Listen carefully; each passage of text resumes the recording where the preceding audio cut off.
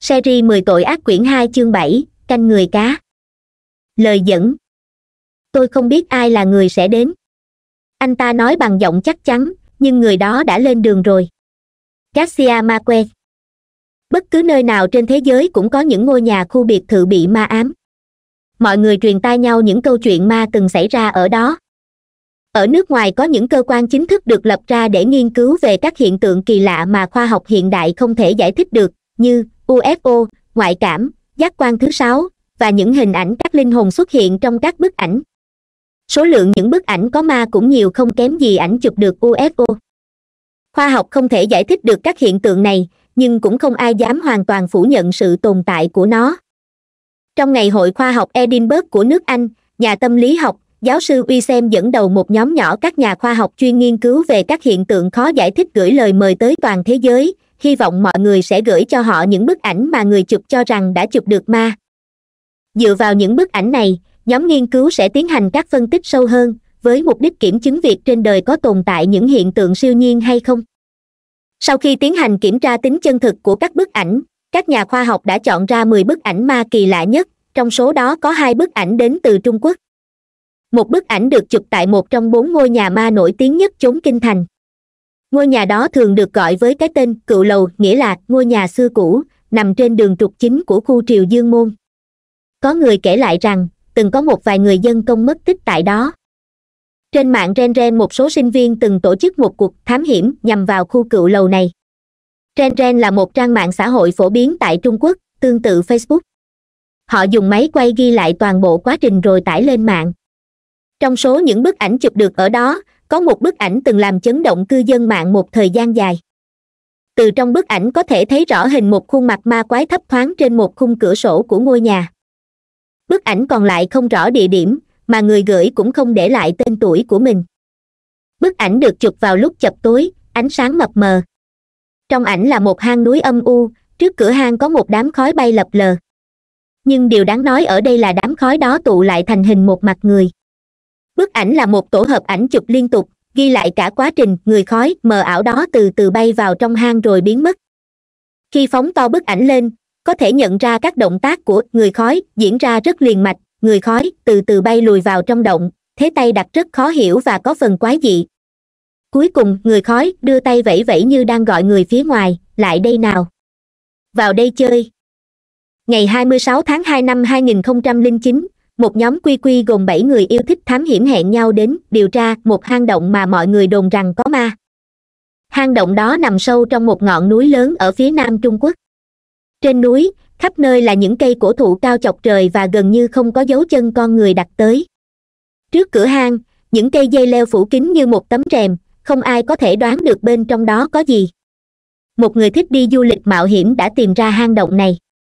Sau khi chụp lại những bức hình kỳ lạ ở đây trở về người đó đã đột ngột bị tai biến và chết một cách đầy khó hiểu. Những người trong nhóm quy quy đã quyết định đến hang động đó để tìm hiểu sự thật. Trong bảy người này có bốn nữ và ba nam, họ là hàng đại như yên, miêu nhan, gia giai, á đồ, bộ thủ hỏa, vọng vân, vương bất tài.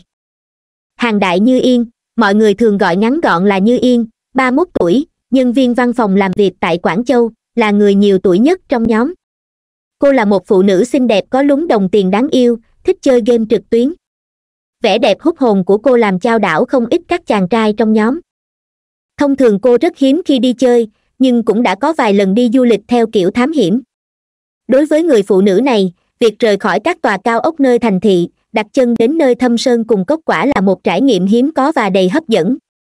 Miêu nhan, một cô gái chính ít đến từ nam kinh, mới vào đại học năm đầu cô có đôi mắt to đáng yêu và một khuôn mặt ưa nhìn. Mỗi khi đến trường cô thường đeo một chiếc ba lô sau lưng, trên ba lô treo một con búp bê nhỏ. Cô gái trẻ này rất hiếu kỳ với những sự việc thần bí. Mặc dù bài tập của kỳ nghỉ đông vẫn chưa làm hết. Nhưng cô nói dối gia đình về ngày khai giảng, rồi theo nhóm bạn tham gia chuyến du lịch thám hiểm lần này. Á đồ là người đại liên, sinh viên năm bốn sắp ra trường, mọi thứ gánh nặng học tập gần như đã không còn cộng thêm sở thích tham gia các hoạt động thám hiểm, càng khiến cô sinh viên hoạt bát và láo cá này cảm thấy hưng phấn. Nhưng chỉ có duy nhất một vấn đề, cô là một kẻ mù đường và thường xuyên bị lạc. Có lần cô bị lạc đường trên núi tuyết, nhưng may mắn được cảnh sát cứu hộ tìm thấy và đưa về, hình ảnh cô gái gặp nạn trong tiều tụy như người sắp chết từng trở thành tiêu điểm trên các trang tin tức mạng. Á đồ ăn nói rất quái gở nếu chỉ nghe tiếng thôi, mọi người sẽ nghĩ rằng cô là một cô gái rất hay nhõng nhẽo và đỏng đảnh gia gia là du học sinh tại new zealand, từ nhỏ sống trong cuộc sống sang giàu, là một tín đồ hàng hiệu. Về kinh nghiệm đi thám hiểm, cô trước giờ chỉ dừng lại ở việc đàm đạo trên mặt giấy, chứ chưa có chút kinh nghiệm thực tế nào. Trong thời gian về nước nghỉ tết, cô lấy hết can đảm đăng ký tham gia đợt thám hiểm hang động bí ẩn lần này. Cô gần như không có chút kiến thức nào về thám hiểm, không mang theo bất cứ một trang thiết bị hỗ trợ cuộc sống giả ngoại nào, trong vali của cô chỉ toàn đồ ăn quần áo và đồ dưỡng da trang điểm. Vọng vân, ba mươi tuổi, là một kỹ sư địa chất. Anh đeo một cặp kính mắt dày, trông rất có học thức và lịch sự, nhưng dáng vẻ có phần phong trần và từng trải. Trong nhiều năm nay, công tác thăm dò địa chất đưa anh đặt chân đến vô số những vùng núi hiểm trở và hoang vu, thậm chí là sang tận châu phi xa xôi. Con người này có sở thích chụp ảnh, trên tay anh lúc nào cũng mang theo chiếc leica m 9 giá trị của chiếc máy ảnh này có thể sánh với một chiếc xe ô tô, chẳng phù hợp chút nào với mức lương bèo bọt của anh hiện giờ. Ước mơ lớn nhất của anh là chụp được một bức ảnh gây chấn động cả thế giới. Vương bất tài, gần ba mươi tuổi nhưng vẫn còn độc thân, quê chiết giang, và đang theo ngành thiết kế xây dựng, một người rất yêu thích du lịch ba lô, từng một mình đi xuyên vùng tạng bắc không một bóng người. Vương bất tài thích sống cuộc sống giả ngoại, không giấu giếm việc mình có ác cảm và thù hận với thế giới và với phụ nữ bộ thủ hỏa, người đông bắc, tốt nghiệp học viện điện ảnh, thường ngày ít nói, tính tình hướng nội và độc lập. Anh hay vác theo một bộ máy quay, đã từng thực hiện một số phim tài liệu về những động vật quý hiếm trong tự nhiên. Ước mơ của anh ta là trở thành một diễn viên điện ảnh. Bảy người bạn hẹn nhau tập hợp tại thị trấn nhỏ phía dưới chân núi. Thị trấn này kinh tế tương đối phát triển, có rất nhiều các tiệm ăn bán các món hoang dã nổi tiếng, thu hút không ít người có tiền và quan chức đến thưởng thức các thực khách tập trung ở đây đông như trảy hội, không khí lúc nào cũng vô cùng náo nhiệt. Cả nhóm để hành lý lại trong nhà nghỉ trong thị trấn, mua những vật dụng cần thiết như dây thừng, đèn pin, dụng cụ phá đá, đinh móc đá, ròng rọc, la bàn, lều, túi ngủ v v để phục vụ cho chuyến thám hiểm sắp tới. Tất nhiên, không thể nào thiếu được thuốc và lương thực. Bốn cô gái xinh đẹp và ba chàng trai kinh nghiệm thám hiểm đầy mình, họ đeo ba lô lên và thẳng tiến về phía hang động thần bí mọi người đã quen nhau trên quy quy từ trước nên dù đây là lần gặp mặt đầu tiên, nhưng họ vẫn tương đối thân thiết. Bốn cô gái tỏ ra vô cùng hứng khởi, dọc đường còn vừa đi vừa hát vô cùng vui vẻ. Ba chàng trai chỉ cười theo và kể về những kinh nghiệm thám hiểm của mình. Sau một buổi sáng leo bộ mệt mỏi và gian nan, cuối cùng họ đã đứng trước cửa hang động. Bảy nhà thám hiểm đứng trước cửa hang chụp ảnh làm kỷ niệm, như yên và gia gia cười toe toét còn á đồ và miêu nhan giơ hai ngón tay làm duyên. Vọng vân dặn dò cả nhóm, trong quá trình thám hiểm có thể xảy ra rất nhiều tình huống nguy hiểm, mọi người phải nhớ kỹ không được tách ra đi một mình trong hang động, nhớ chưa? Vương bất tài phát biểu, chúng ta nên chọn ra một người làm đội trưởng, nhưng tôi có ý kiến, không chọn nữ nhé. Bộ thủ hỏa nói, tôi là con trai, nhưng cũng không muốn làm đội trưởng đâu. Miêu nhan ngây thơ nói, ai đẹp trai nhất, người ấy sẽ là đội trưởng còn nếu không thì tung dép để chọn người vậy. Á đồ đỏng đảnh lên tiếng, vọng vân làm đội trưởng đi, anh ấy là giỏi nhất, còn hai anh toàn là mấy ông chú quái dị thôi. Vọng vân chấp nhận vai trò đội trưởng, mọi người xếp thành hàng dọc, ba chàng trai lần lượt đứng đầu, cuối và giữa đoàn để bảo vệ các thành viên nữ. Mọi người bật chiếc đèn trên mũ bảo hộ, rồi mỗi người cầm trên tay một thanh sắt, từ từ và cẩn thận bước vào trong, bắt đầu cuộc thám hiểm. Hang động thần bí bóng đêm trước mặt khiến bất cứ một người ưa mạo hiểm nào cũng không tránh khỏi cảm giác hồi hộp và nổi da gà. Rất nhanh chóng, mọi người đã quen với môi trường bóng tối, tâm lý cũng dần bình tĩnh trở lại. Những đoạn nham thạch trong động đang xen vào nhau, có những tảng đá trông như hình cây nấm khổng lồ, có những tảng lại giống như những bông hoa sen chồng lên nhau thành nhiều lớp. Những đoạn rễ cây cổ thụ xuyên qua vách động rủ xuống chắn đường, lòng của dòng sông ngầm đã khô cạn ngoằn ngoèo và khúc khuỷu khiến việc đi lại vô cùng khó khăn. Những chỗ ẩm ướt được phủ một lớp rêu mềm. Đường trong động được chia thành nhiều nhánh, các động nhỏ cũng rất nhiều. Sau khi lách qua một khe đá hẹp, không gian bỗng mở rộng trước mặt cả đội hiện ra một hang động lớn. Điều không thể ngờ tới là, ở phía cuối hang động, cả đội nhìn thấy có ánh lửa bập bùng. Cho rằng mình hoa mắt, cả nhóm đứng yên bất động, rồi không ai bảo ai tất cả cùng chiếu đèn về hướng có ánh sáng phát ra nhưng vẫn không nhìn rõ đó là gì. Đội trưởng vọng vân bảo mọi người tắt hết đèn đi. Trong bóng tối, bảy đôi mắt căng ra nhìn về phía xa. Lúc này, họ mới nhìn rõ, trong hang động không bóng người này, có thứ gì đó đang bốc cháy. Bộ thủ hỏa hét lên một tiếng lớn, tiếng hét vọng lại từ hang động cũng rất to. Tất cả những ai hiểu về thám hiểm đều biết rằng, nếu tiếng vọng lại của một hang động lớn như thế nghĩa là phía trước đã hết đường, còn nếu tiếng vọng nhỏ và có phần vang xa nghĩa là vẫn còn đường đi tiếp. Mọi người lại bật đèn lên, cố gắng thở đều rồi từ từ tiến về phía trước. Tại đoạn cuối của hang động, có một vài thứ đồ như bát và lọ. Trên một chỗ khoét vào thành động, có đặt một cái nồi lớn, bên dưới là lửa, kinh hãi hơn nữa, trên nồi có một người. Cả đội ai nấy đều há hốc miệng nhìn cảnh tượng kinh hoàng trước mắt. Một lúc lâu sau tất cả mới đồng thanh hét lên sợ hãi. Cả đội co rúm vào một chỗ, tâm trạng hết sức bất ổn, miêu nhan và á đồ sợ hãi đến phát khóc. Rất dễ dàng nhận ra rằng họ đã bắt gặp hiện trường một vụ án mạng. Khi gặp phải tình huống này, không được phép đụng vào bất cứ thứ gì, mà phải bảo vệ hiện trường, để tiện cho cảnh sát trong quá trình phá án. Bảy người trong nhóm thám hiểm không dám nhìn thẳng vào nồi, gia gia rút điện thoại ra định báo cảnh sát một trăm mười mới phát hiện ra trong hang không có sóng mọi người cố gắng hết sức để trấn tĩnh lại, bàn kế hoạch ứng phó với tình hình. Họ quyết định để vương bất tài và như yên rời khỏi hang, xuống dưới thị trấn để báo cảnh sát, những người còn lại ở lại bảo vệ hiện trường. Bộ thủ hỏa bật máy quay phim, rồi hướng về phía chiếc nồi. Vọng vân cũng bật máy ảnh, ghi chép lại những dấu vết tại hiện trường. Đây đều có thể trở thành chứng cứ và đầu mối quan trọng giúp cảnh sát. Á đồ đã sợ đến rã rời chân tay, nói, em sắp nôn mất thôi miêu nhan vừa khóc lóc vừa nói, em xin mọi người đấy, mọi người đưa em ra khỏi chỗ này đi. Bảo vệ hiện trường có phải là nhiệm vụ của chúng ta đâu. Gia gia lắp bắp không ra hơi, như yên, vương bất tài, hai người nhanh lên đi, chân em nhũng ra không bước nổi nữa rồi. Vọng vân vẫn bình tĩnh, nói, tôi nhìn rõ rồi. Đó là một phụ nữ.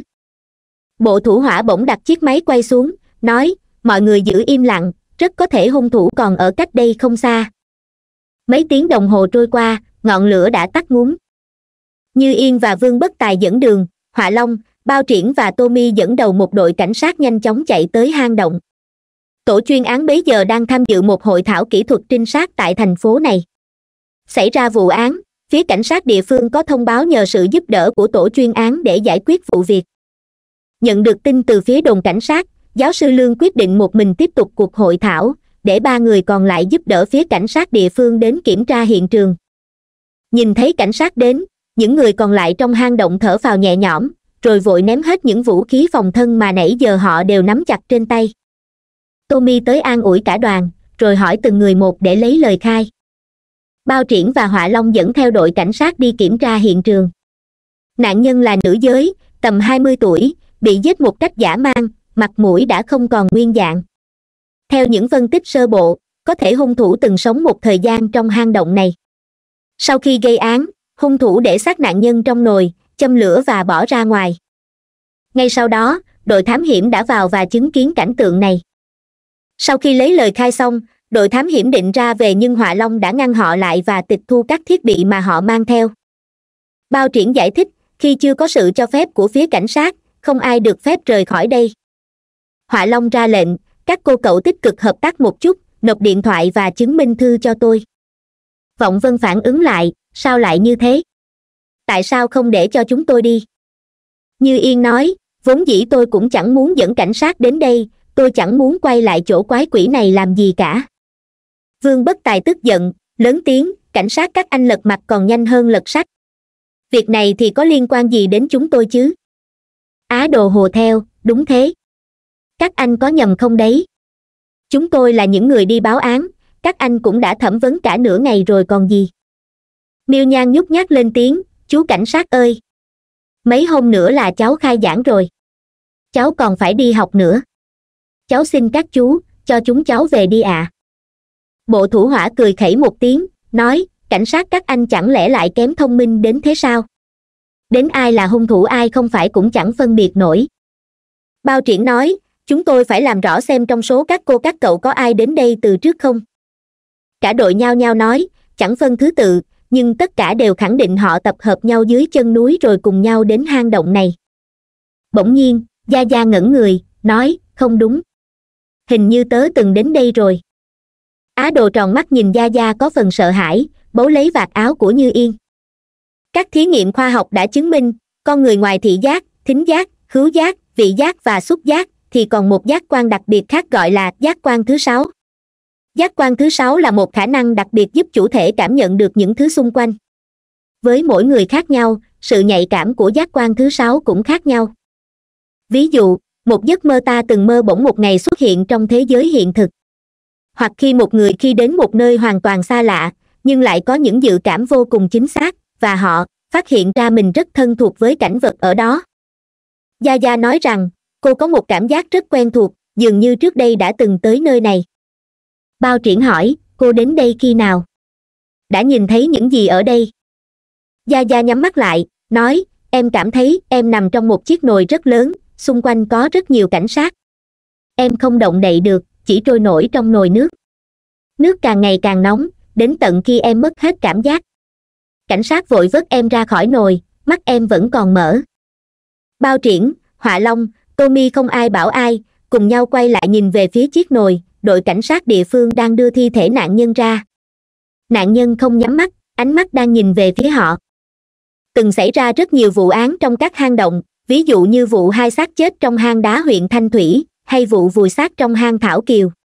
Hai vụ án này có vai trò đặc biệt trong lịch sử phá án của trung quốc, và là hai ví dụ tham khảo quan trọng cho phía cảnh sát khi xảy ra những vụ án trong hang động như thế này tổ tiên của loài người có một giai đoạn lịch sử dài sống trong hang động, ăn lông ở lỗ. Những bản tính hoang dã của loài người bị thế giới văn minh bó buộc, đẩy xuống đáy sâu tâm hồn mỗi con người. Những tà tính đó rất dễ bị đánh thức khi con người ta sống trong hang động. Một con người bình thường khi vào trong hang động, nhìn thấy những hòn đá nhọn hoặc những đoạn cây vừa tầm, rất có thể sẽ trỗi dậy những ý niệm tà ác trong tâm hồn, rồi dẫn đến hành vi giết người.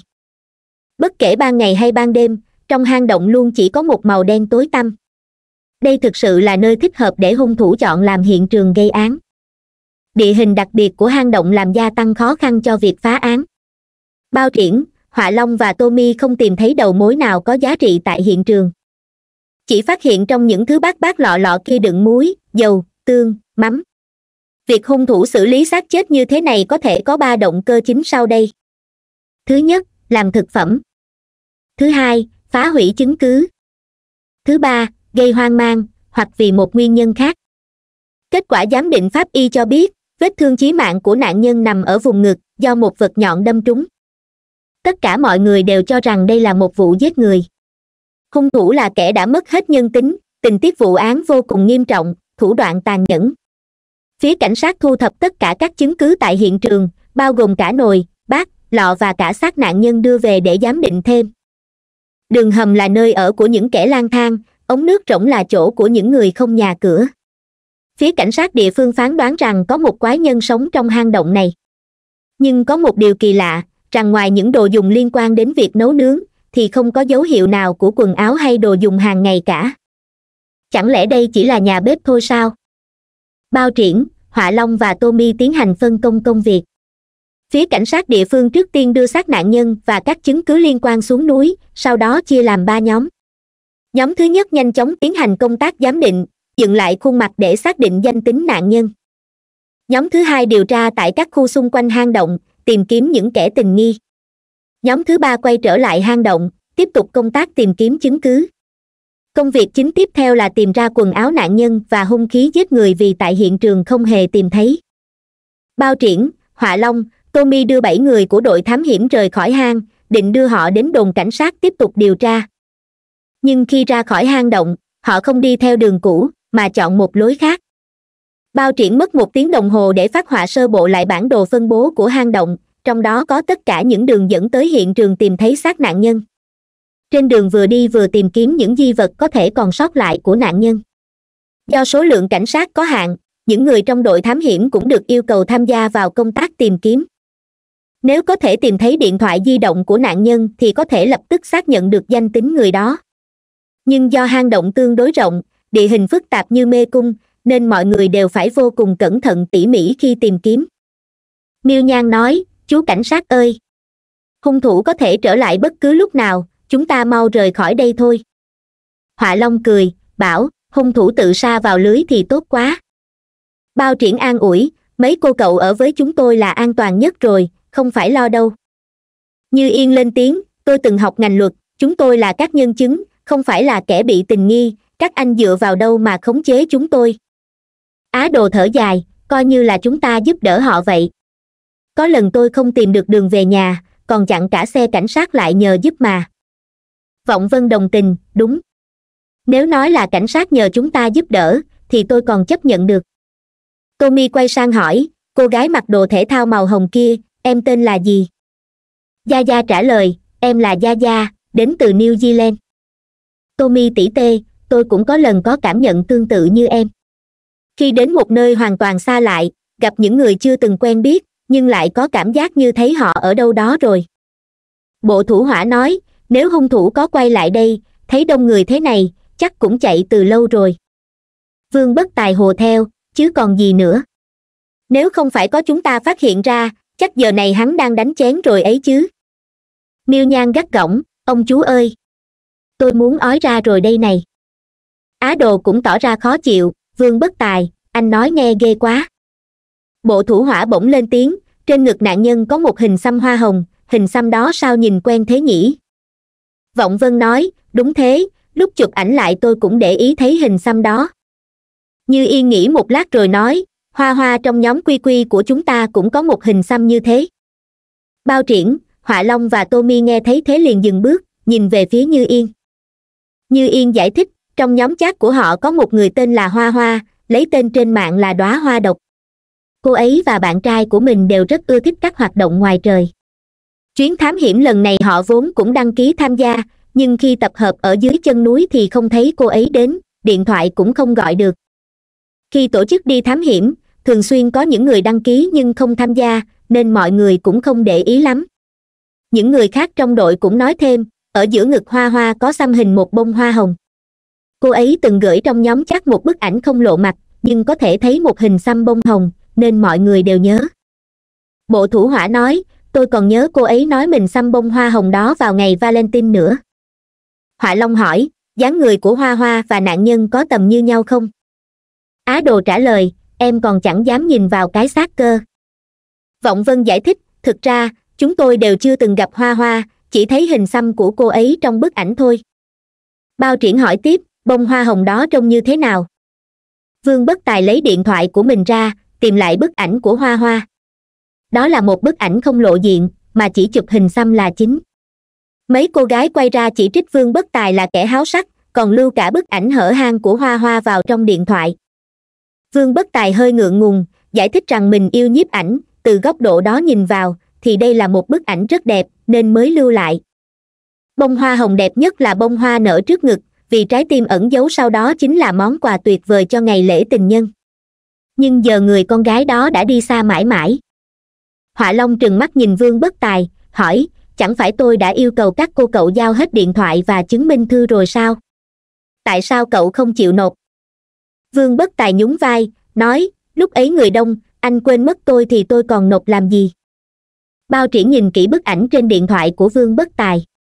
Sau khi xăm mình, nếu không tiến hành phẫu thuật, thì không thể xóa hết vết xăm được. Mặc dù thi thể nạn nhân đã bị hủy hoại nghiêm trọng, hình xăm cũng đã mờ nhạt rất nhiều, nhưng từ những đường nét và màu sắc còn sót lại cũng có thể thấy sự giống nhau đến khác thường so với hình xăm trong bức ảnh, vị trí xăm hình cũng rất ăn khớp họa long và tommy cũng quan sát bức ảnh, rồi gật đầu. Theo kinh nghiệm điều tra cho thấy, nạn nhân rất có thể chính là hoa hoa. Những người trong đội thám hiểm ban đầu cảm thấy kinh ngạc, rồi sau đó có buồn bã. Họ không thể tin được rằng nạn nhân của vụ án lại chính là một người trong nhóm chat. Thường ngày họ vẫn nói chuyện rất nhiệt tình, thân thiết như anh em ruột thịt. Vốn đã hẹn nhau cùng đến hang động thám hiểm, nhưng ai ngờ lại thấy cô chết thảm như thế. Không khí bỗng nhiên trầm xuống mọi người có chút buồn bã, một cảm giác khó tả lan tỏa khắp nơi. Miêu nhan bỗng nhiên bật khóc, đó không phải là hoa hoa, cô ấy không đến đây, phải không? Á đồ cũng rưng rưng, nói, sao lại có thể là cô ấy được chứ? Chắc mọi người nhầm lẫn ở đâu đó rồi. Như yên cố giữ bình tĩnh, an ủi, cảnh sát sẽ có cách để làm rõ sự việc. Hy vọng đó không phải là hoa hoa. Đó là một cô gái tốt, tôi cũng rất quý cô ấy gia gia có phần kích động, thiếu gì người xăm ở ngực, xăm hình hoa hồng cũng có phải chỉ mình hoa hoa đâu. Nhưng mà, sao tự nhiên em lại cảm thấy buồn thế này? Vương bất tài, vọng vân, bộ thủ hỏa đều không lên tiếng. Họ đã quan sát thi thể nạn nhân ở khoảng cách rất gần. Mặc dù không dám khẳng định, nhưng họ đều có một dự cảm không tốt. Mọi người vẫn tiếp tục tiến về phía cửa hang. Đến một đoạn rẽ, á đồ nói muốn đi vệ sinh rồi cứ thế chạy vào một đoạn đường rẽ. Cô gái nhát gan này càng nghĩ đến chuyện vừa rồi càng sợ, suýt nữa không nhịn được, mọi người đứng ở chỗ cũ chờ để bớt xấu hổ, á đồ tắt đèn trên chiếc mũ bảo hộ, cô ngồi xuống một đống đá vụn trong đường rẽ. Một lát sau, á đồ hình như nhìn thấy thứ gì đó, hoặc gặp phải nguy hiểm gì không rõ, cô bỗng hét lên một tiếng rất lớn, á. Cả nhóm không biết có chuyện gì xảy ra. Mấy cậu thanh niên định chạy vào nhưng lại thấy không tiện, đành thôi. Như yên, miêu nhan, gia gia vội hỏi vọng vào trong xem đã xảy ra chuyện gì. Á đồ chạy ra, khuôn mặt đau đớn, loạn quạng lao về phía mọi người, chỉ kịp nói một câu rồi ngất liệm, trắng độc cắn. Khát vọng sống khiến con người ta không để ý đến cả sự ngượng ngùng. Khi gặp phải nguy hiểm, nhất định phải dùng những từ ngữ đơn giản và dễ hiểu nhất để thông báo với mọi người. Cả nhóm vội vàng đỡ á đồ dậy bộ thủ hỏa cõng cô bé rồi cả nhóm vội chạy ra khỏi hang. Bộ thủ hỏa đặt á đồ xuống một phiến đá, ngoài trời đã tối sầm. Do khoảng cách đến bệnh viện gần nhất dưới chân núi cũng tương đối xa, nếu không chữa trị kịp thời, thì chỉ còn nước nhìn á đồ trúng độc mà chết. Bao triển, họa long và tommy cũng bó tay, không biết phải giải quyết thế nào. Nọc độc của rắn thường phát tác rất nhanh, cô gái này nhất định không thể trụ nổi quá lâu. Tommy hỏi có ai mang theo hộp cứu thương không? Vọng vân chỉ vào ba lô của mình, nói, ở đây có dầu gió, dầu tràm, vân nam bạch dược, băng vết thương, thuốc chống viêm và thuốc giảm đau. Bộ thủ hỏa nói cộc lốc, mấy thứ đấy làm quái gì được? Chẳng lẽ lại dán lên vết thương? Vương bất tài nói, trước tiên cởi đồ của á đồ ra để xem vết thương thế nào đã. Như yên phát biểu ý kiến, trong lúc cấp bách này, cứ hút máu độc ra đã rồi tính miêu nhan xua tay, nói, ôi, ai có kinh nghiệm thì hút độc đi, tôi chịu thôi. Vương bất tài nói, giờ này còn nghĩ nhiều thế làm gì? Không thì để tôi hút độc cũng được. Vọng vân đồng tình, đúng đấy. Cứu người là quan trọng nhất lúc này. Họa long giờ mới lên tiếng, các cô các cậu xem phim nhiều quá rồi à hút máu độc à. Bao triển nói, trước tiên phải xem đó có phải là rắn độc không đã? Cứ mở ra xem vết thương rồi tính bộ thủ hỏa tỏ vẻ rất am hiểu, phải đi hái thuốc. Thông thường nơi có rắn độc sống đều có cây cỏ trị độc. Gia gia chuẩn bị cởi quần áo á đồ ra, cô quay lên nhìn mọi người rồi nói, đàn ông con trai quay hết mặt ra kia đi. Á đồ vẫn hôn mê bất tỉnh. Mấy cô gái kiểm tra vết cắn. Vết cắn không hề bị sưng tấy, cũng không thấy dấu hiệu bầm tím hay nổi mụn nước, chỉ có một hàng nốt răng nhỏ và đều. Thông thường vết răng rắn độc thường có hai nốt to và sâu người bị cắn sẽ có hiện tượng giãn đồng tử, co giật hoặc xuất huyết. Tommy soi thử đồng tử của á đồ. Các biểu hiện lâm sàng cho thấy cô không có dấu hiệu trúng độc. Có lẽ vừa rồi cô chỉ bị rắn thường cắn, nhưng vì quá sợ hãi nên đã ngất đi. Tommy cúi người xuống, nhẹ nhàng vỗ vào hai bên má của á đồ, sau đó bấm nhân trung của cô. Một lát sau, á đồ đã từ từ tỉnh lại. Mấy cô bạn túng lại an ủi vương bất tài vốn có nhiều kinh nghiệm sống giả ngoại nói, nhìn vết thương thấy không giống bị rắn độc cắn, có lẽ chỉ là rắn thường thôi. Như yên đưa chân đá vương bất tài một cái, mắng mỏ, đồ lưu manh. Ai cho anh nhìn trộm hả? Vương bất tài dửng dưng, vọng vân và bộ thủ hỏa cũng nhìn còn gì. Á đồ tĩnh tâm lại một lúc rồi mới lên tiếng. Cô vừa thở hổn hển vừa kể với mọi người một sự việc đáng sợ lúc cô đi vệ sinh đã làm một con rắn nằm trong kẻ hang tỉnh giấc. Nó cắn á đồ không buông, đuôi còn định cuốn lấy chân cô gái. Trong lúc hoảng sợ, á đồ đưa tay giật con rắn ném ra xa, rồi bỏ chạy. Trong lúc chạy cô đá phải vật gì đó như một hòn đá. Quay đầu nhìn lại thì thấy giữa đống đá như có một chân người. Bao triển và họa long đưa cả nhóm trở về chỗ á đồ đi vệ sinh. Vương bất tài và bộ thủ hỏa phát hiện thấy một con rắn nằm trong đống đá vụn họ đập chết con rắn rồi vứt sang một chỗ khác. Vọng vân vừa ném đá vừa lẩm bẩm, có phải mày không con rắn thối kia? Mày đúng là đồ rắn lưu manh. Trong đống đá vụn, có một đôi giày leo núi lộ ra ngoài, trông giống như bên trong đang vùi một xác người vậy. Bao triển đeo găng tay vào, rồi bắt đầu bới đống đá vụn.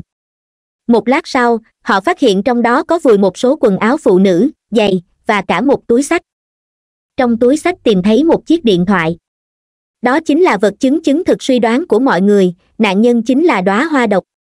Quần áo và đồ đạc ở đây đều là của cô ta, chứng tỏ nạn nhân không thể là một người nào khác. Mấy cô gái bắt đầu bật khóc. Chỉ cần nghĩ đến cảnh tượng cái xác, họ đều thấy vô cùng sợ hãi và run lẩy bẩy. Bao triển xem lại nhật ký cuộc gọi trong điện thoại của nạn nhân. Cuộc gọi cuối cùng là của bộ thủ hỏa gọi cho hoa hoa vào hai ngày trước bộ thủ hỏa giải thích rằng cậu gọi điện hỏi hoa hoa có tham gia chuyến thám hiểm nữa hay không? Họa long quan sát bộ thủ hỏa thật kỹ. Chàng thanh niên có vẻ cô độc và âm trầm này rất ít nói, thích quay các thước phim tài liệu về động vật hoang dã. Trong máy quay của cậu ra còn có cả đoạn phim quay lại hiện trường vụ án. Liệu rằng đây có phải là một kịch bản do cậu ra dựng lên hay không? Họa long bất ngờ hỏi, theo cậu, người và động vật có gì khác nhau? Bộ thủ hỏa trả lời tôi không hiểu anh đang hỏi gì. Họa long nghiêm giọng, trả lời thẳng vào vấn đề. Bộ thủ hỏa trả lời, con người đạo mạo, hiên ngang, nhưng cũng ích kỷ, giả mang, so với giả thú cũng chẳng khác là mấy. Một khi rơi vào tình thế bất lợi, thì rồi cũng lộ rõ bản chất xấu xa của mình ra. Trên nền đất còn phát hiện nhiều vết máu khác. Rất có thể hung thủ đã giết chết nạn nhân ở đây, vùi quần áo và đồ đạc vào đống đá, sau đó vác xác nạn nhân ra hiện trường gia gia bỗng nhiên thốt lên, ơ, loại băng vệ sinh này cùng hãng em hay dùng mà. Bao triển lật qua lật lại những bức ảnh trong điện thoại của hoa hoa. Trong đó có rất nhiều những bức ảnh tự chụp, với những kiểu tạo dáng của giới trẻ bây giờ. Bao triển xem một vài bức, rồi bỗng run rẩy cầm không vững. Từ trước tới nay không có gì khiến anh phải sợ hãi như thế, đến cả những vụ thảm án cũng không khiến anh có cảm giác như lúc này họa long và tommy nghi rằng trong chiếc điện thoại có ghi lại cả quá trình gây án, vội chạy tới xem. Khi nhìn thấy những bức ảnh trong đó, họ cũng không thể không lạnh gáy. Ba người giả vờ như không có chuyện gì xảy ra. Bao triển bỏ chiếc điện thoại vào trong túi đựng vật chứng, rồi đưa mắt nhìn một lượt những người trong đội thám hiểm. Anh dừng lại nhìn thẳng vào mặt gia gia. Thấy ánh mắt lạ lùng của bao triển, gia gia bỗng tái mặt, rồi trong tích tắc cô đã có những hành động vượt ngoài sức tưởng tượng trước mặt mọi người, gia gia bỗng kéo xoẹt khóa áo thể thao xuống, giật chiếc áo sang một bên, khiến mọi người giật mình sợ hãi. Như yên gào lên, em điên rồi hả? Gia gia chỉ vào ngực mình, kêu, đau. Đau quá. Sao ở đây lại đau thế này? Có phải là có con dao nào đâm ở đây không? Đau quá. Mọi người xung quanh đều á khẩu, nhìn gia gia một cách lạ kỳ, rồi lắc đầu bảo không có con dao nào cả. Gia gia nhắm mắt lại nói, nhưng đau lắm. Em có thể nhìn thấy hình ảnh bạn ấy rất đau khổ, rất khó chịu. Em nhìn thấy rõ lắm. Thậm chí em còn biết bạn ấy đang nghĩ gì. Nhưng, bạn ấy chết rồi đúng không? Vì sao em lại thấy đau như thế này? Đau đến tận xương tủy. Cảm giác này suốt đời em không thể quên được, mọi người có nhìn thấy vết thương ở ngực em không? Em biết, vết thương đó sẽ mãi mãi không bao giờ biến mất được. Bao triển hỏi người mà em nhìn thấy, trông như thế nào? Gia gia trả lời, trông giống hệt như em. Họa long hỏi tiếp, là cô gái bị giết ở đây phải không? Gia gia trả lời, chính là em. Em nhìn thấy chính mình. Tommy nổi da gà khắp người, đừng dừng lại. Tiếp tục kể cho chị biết, em còn nhìn thấy gì nữa? Gia gia nói, chính tại chỗ này. Em nằm trên một tảng đá lạnh lẽo, trên ngực cắm một con dao một con rắn bò qua mặt em em rất sợ hãi, nhưng không thể nào kêu lên được, cũng không có cách nào động đậy. Con rắn đó vừa thè lưỡi, vừa bò ngang người em, một cảm giác rất lạnh lẽo, lạnh như chính thân thể của em vậy. Rồi con rắn bò vào kẻ hang, biến mất. Mọi người cùng nhìn về phía cuối của đường rẽ, rồi chiếu đèn thăm dò. Đó là một khe động hẹp, phía cuối đường còn có một lối rẽ. Họa long và bao triển cẩn thận đi tới cuối đường lách qua khe hở trên vách đá rồi lại rẽ sang đường bên cạnh. Trước mặt họ xuất hiện một hàng rào lưới sắt. Mắt lưới rất nhỏ, che kín lối vào bên cạnh còn có một cánh cửa lưới sắt bị khóa. Họa long tiến lại, rồi đưa chân đạp rách cánh cửa sắt. Mọi người chui qua vết rách vào bên trong. Mọi người đều nhận ra nhiệt độ trong cái hang khác hẳn với những nơi khác. Bên ngoài hang tương đối ấm áp, nhưng trong này lại vô cùng lạnh lẽo. Trên nền hang là đất mềm cả đoàn tiến về phía trước. Đến đoạn rẽ phải, phía trước mặt họ bỗng hiện ra một hang đá rộng thênh thang. Hang đá rất cao, phía trên là những thạch nhũ hình chung rất lớn. Mọi người chỉ mãi nhìn phía trên mà không để ý dưới nền. Họa long dẫn đầu cả đoàn, bỗng dưng anh đá phải vật gì đó. Mọi người cúi xuống nhìn sát mặt đất có những sợi bông, xếp thành hình lưới phủ kín khắp cả nền. Có thể mờ ảo nhận ra, khu vực giữa hang cũng có những sợi bông đang treo lủng lẳng thứ gì đó vọng vân, hình như là treo thịt thì phải. Như yên, không phải là thịt sông khói, nhìn giống lạp xưởng thì đúng hơn. Miêu nhan, lạ thật, những sợi này dùng để làm gì nhỉ? Vương bất tài, tôi cũng lần đầu tiên nhìn thấy những thứ này. Bộ thủ hỏa, để câu cá chăng? Nhưng bên dưới có phải hồ cá đâu? Á đồ, chúng ta rời khỏi đây thôi. Em còn phải về tiêm phòng nữa. Gia gia, em vẫn còn thấy đau lắm tommy, trông có vẻ rất cổ quái, mọi người cẩn thận một chút. Bao triển, hình như ở đây đang nuôi thứ gì đó. Họa long, chúng ta tiến lại xem sao.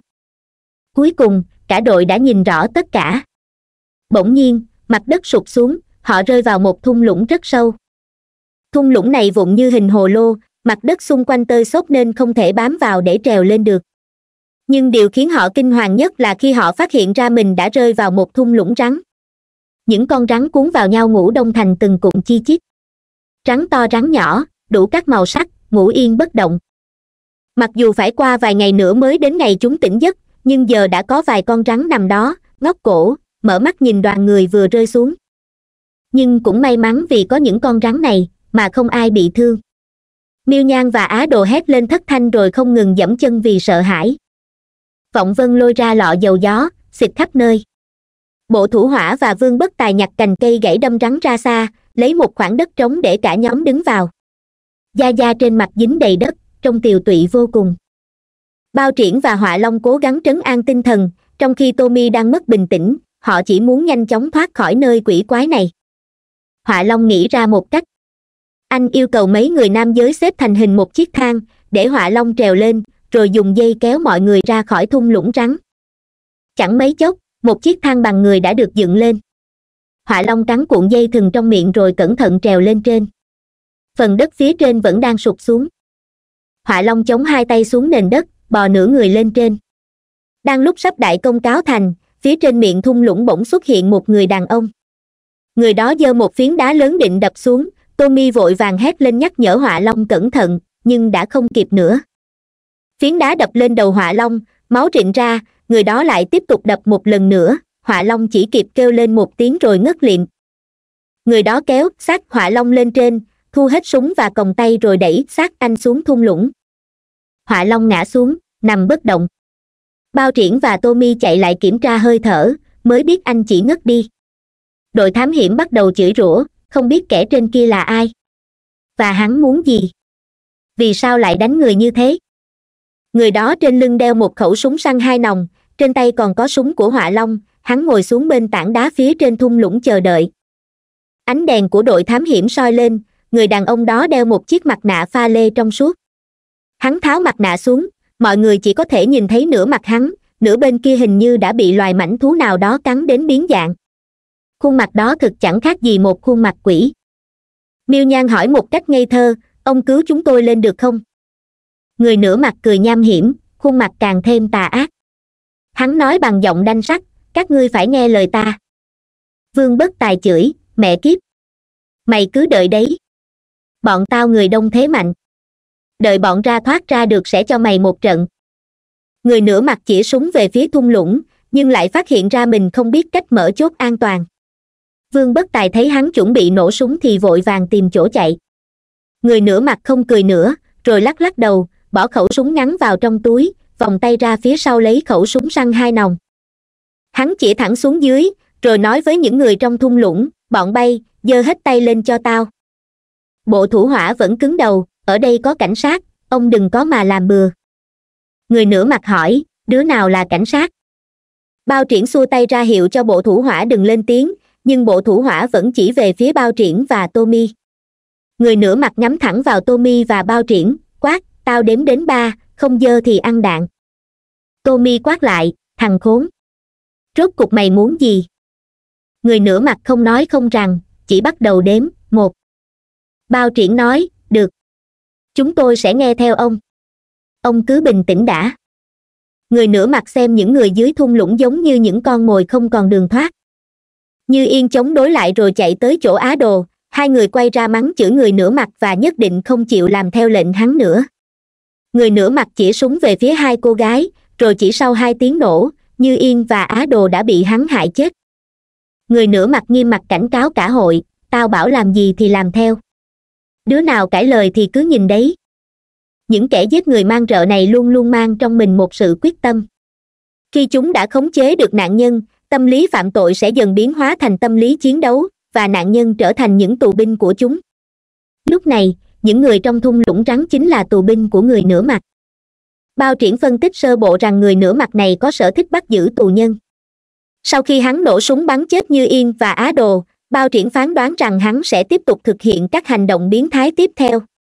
Hắn giết người có thể là để nuôi rắn. Những con rắn ở đây rõ ràng là có người nuôi dưỡng, và chủ của chúng chính là người nửa mặt. Phần thịt treo trong hang đá, và cả xác người trong nồi có thể cũng chính là mồi của rắn thông thường rắn chỉ ăn các động vật nhỏ và còn tươi như chuột, gà con, ếch nhái v v nếu người nuôi cho rắn ăn đồ đã chết, chúng sẽ tuyệt thực, nên cần có những cách nhử mồi để chúng nghĩ rằng đó là mồi sống. Bao triển cho rằng những sợi bông kia được dùng để treo đồ ăn. Khi những con rắn tỉnh lại, chúng sẽ chui ra ngoài, khi bò có thể chạm vào sợi dây khiến đồ ăn dịch chuyển. Rắn sẽ nhầm tưởng đó là con mồi sống. Như yên và á đồ bị bắn một cách đột ngột những người còn lại đều chết lặng, không ai nói lên lời. Người nửa mặt nhìn về phía thung lũng, cười quái đản, thế nào hả? Đã biết sự lợi hại của ta chưa? Vọng vân quỳ sụp dưới đất, chắp tay cầu xin, đại ca, xin tha cho em, chúng em sẽ nghe lời đại ca hết. Xin đại ca đừng nổ súng nữa. Miêu nha nhìn sát hai bạn, chỉ biết bịt miệng để không khóc thành tiếng, sợ chọc tức kẻ giết người mang rợ trên kia bao triển nghĩ việc quan trọng nhất bây giờ là phải tranh thủ thời gian. Trong số mấy người bọn họ, họa long là người có sức chiến đấu nhất giờ đây đã bất tỉnh nhân sự, cảnh sát chắc đã đang trên đường đến. Đặc điểm của những kẻ thích bắt cóc là thời gian giam giữ tương đối dài, có thể kéo dài đến mấy ngày liền. Bao triển cố gắng bình tĩnh hết sức, nói với người nửa mặt, chúng tôi đều nghe theo anh hết. Anh muốn chúng tôi làm gì nào? Người nửa mặt lên tiếng hỏi, kẻ mới chết là gì của các ngươi? Vương bất tài trả lời, bạn. Bộ thủ hỏa đang nghe truyện trên tv audio cv vội bổ sung thêm, bạn bình thường thôi. Người nửa mặt tỏ ra hơi thất vọng, nói, nếu là người thân thì tốt. Tommy lén đá vào người họa long cho anh tỉnh lại. Quả nhiên, phương pháp đó đã có tác dụng.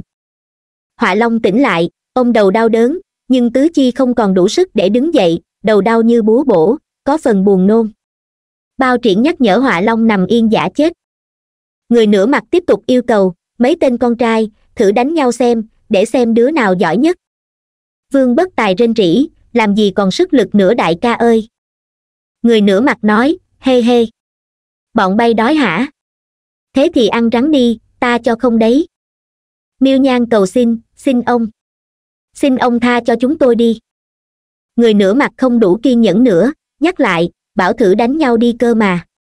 Đánh mạnh vào như bọn gấu táp nhau ấy, nếu không tao sẽ cho chúng bay ăn đạn.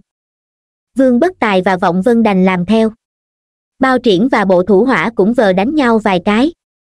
Người nửa mặt ngồi phía trên xem, nhưng thấy cuộc ẩu đã không được chân thực cho lắm nên vô cùng thất vọng, lệnh cho mấy người họ phải dùng sức nhiều lên. Bầy rắn bên cạnh xuất hiện một cơn xáo động. Một con rắn cắn da da, cô bé chỉ cau mày một cái rồi thở dài một hơi lạnh lẽo hoàn cảnh hiện tại khiến cô không thèm quan tâm đến việc có bị rắn cắn hay không nữa. So với bầy rắn, kẻ nửa mặt trên kia còn nguy hiểm gấp bội phần. Bao triển nói thầm với bộ thủ hỏa, đánh tôi thật mạnh vào. Bộ thủ hỏa nói, để làm gì? Bao triển giơ nắm đấm dán một cú mạnh vào cầm bộ thủ hỏa. Sự tức giận nổi lên, bộ thủ hỏa giơ tay quyền, đấm bao triển chảy máu miệng. Bao triển vồ lấy một con rắn dưới đất, dùng làm vũ khí chiến đấu với bộ thủ hỏa hai người vừa đánh nhau vừa chửi rủa. Người nửa mặt cười lên sung sướng. Bao triển vứt con rắn đi, rồi dùng một ngữ khí tức giận nói với người nửa mặt, ê, có dao không? Tôi phải giết hắn. Người nửa mặt ném xuống một con dao mông cổ còn trong vỏ, nói, có. Đứa nào còn sống sót đến cuối cùng, tao sẽ thả đứa ấy ra. Tao đã nói là làm. Sau này, khi giáo sư lương hỏi họ đã làm cách nào để thoát khỏi thung lũng rắn đó bao triển kể lại như sau. Lúc đó, những người trong đội không ai có một tấc vũ khí trong tay, lại không có chỗ nào để thoát ra ngoài, bên trên thung lũng còn có người nửa mặt cầm súng uy hiếp. Kẻ mất nhân tính này rất thích nhìn một tập thể tự tàn sát lẫn nhau.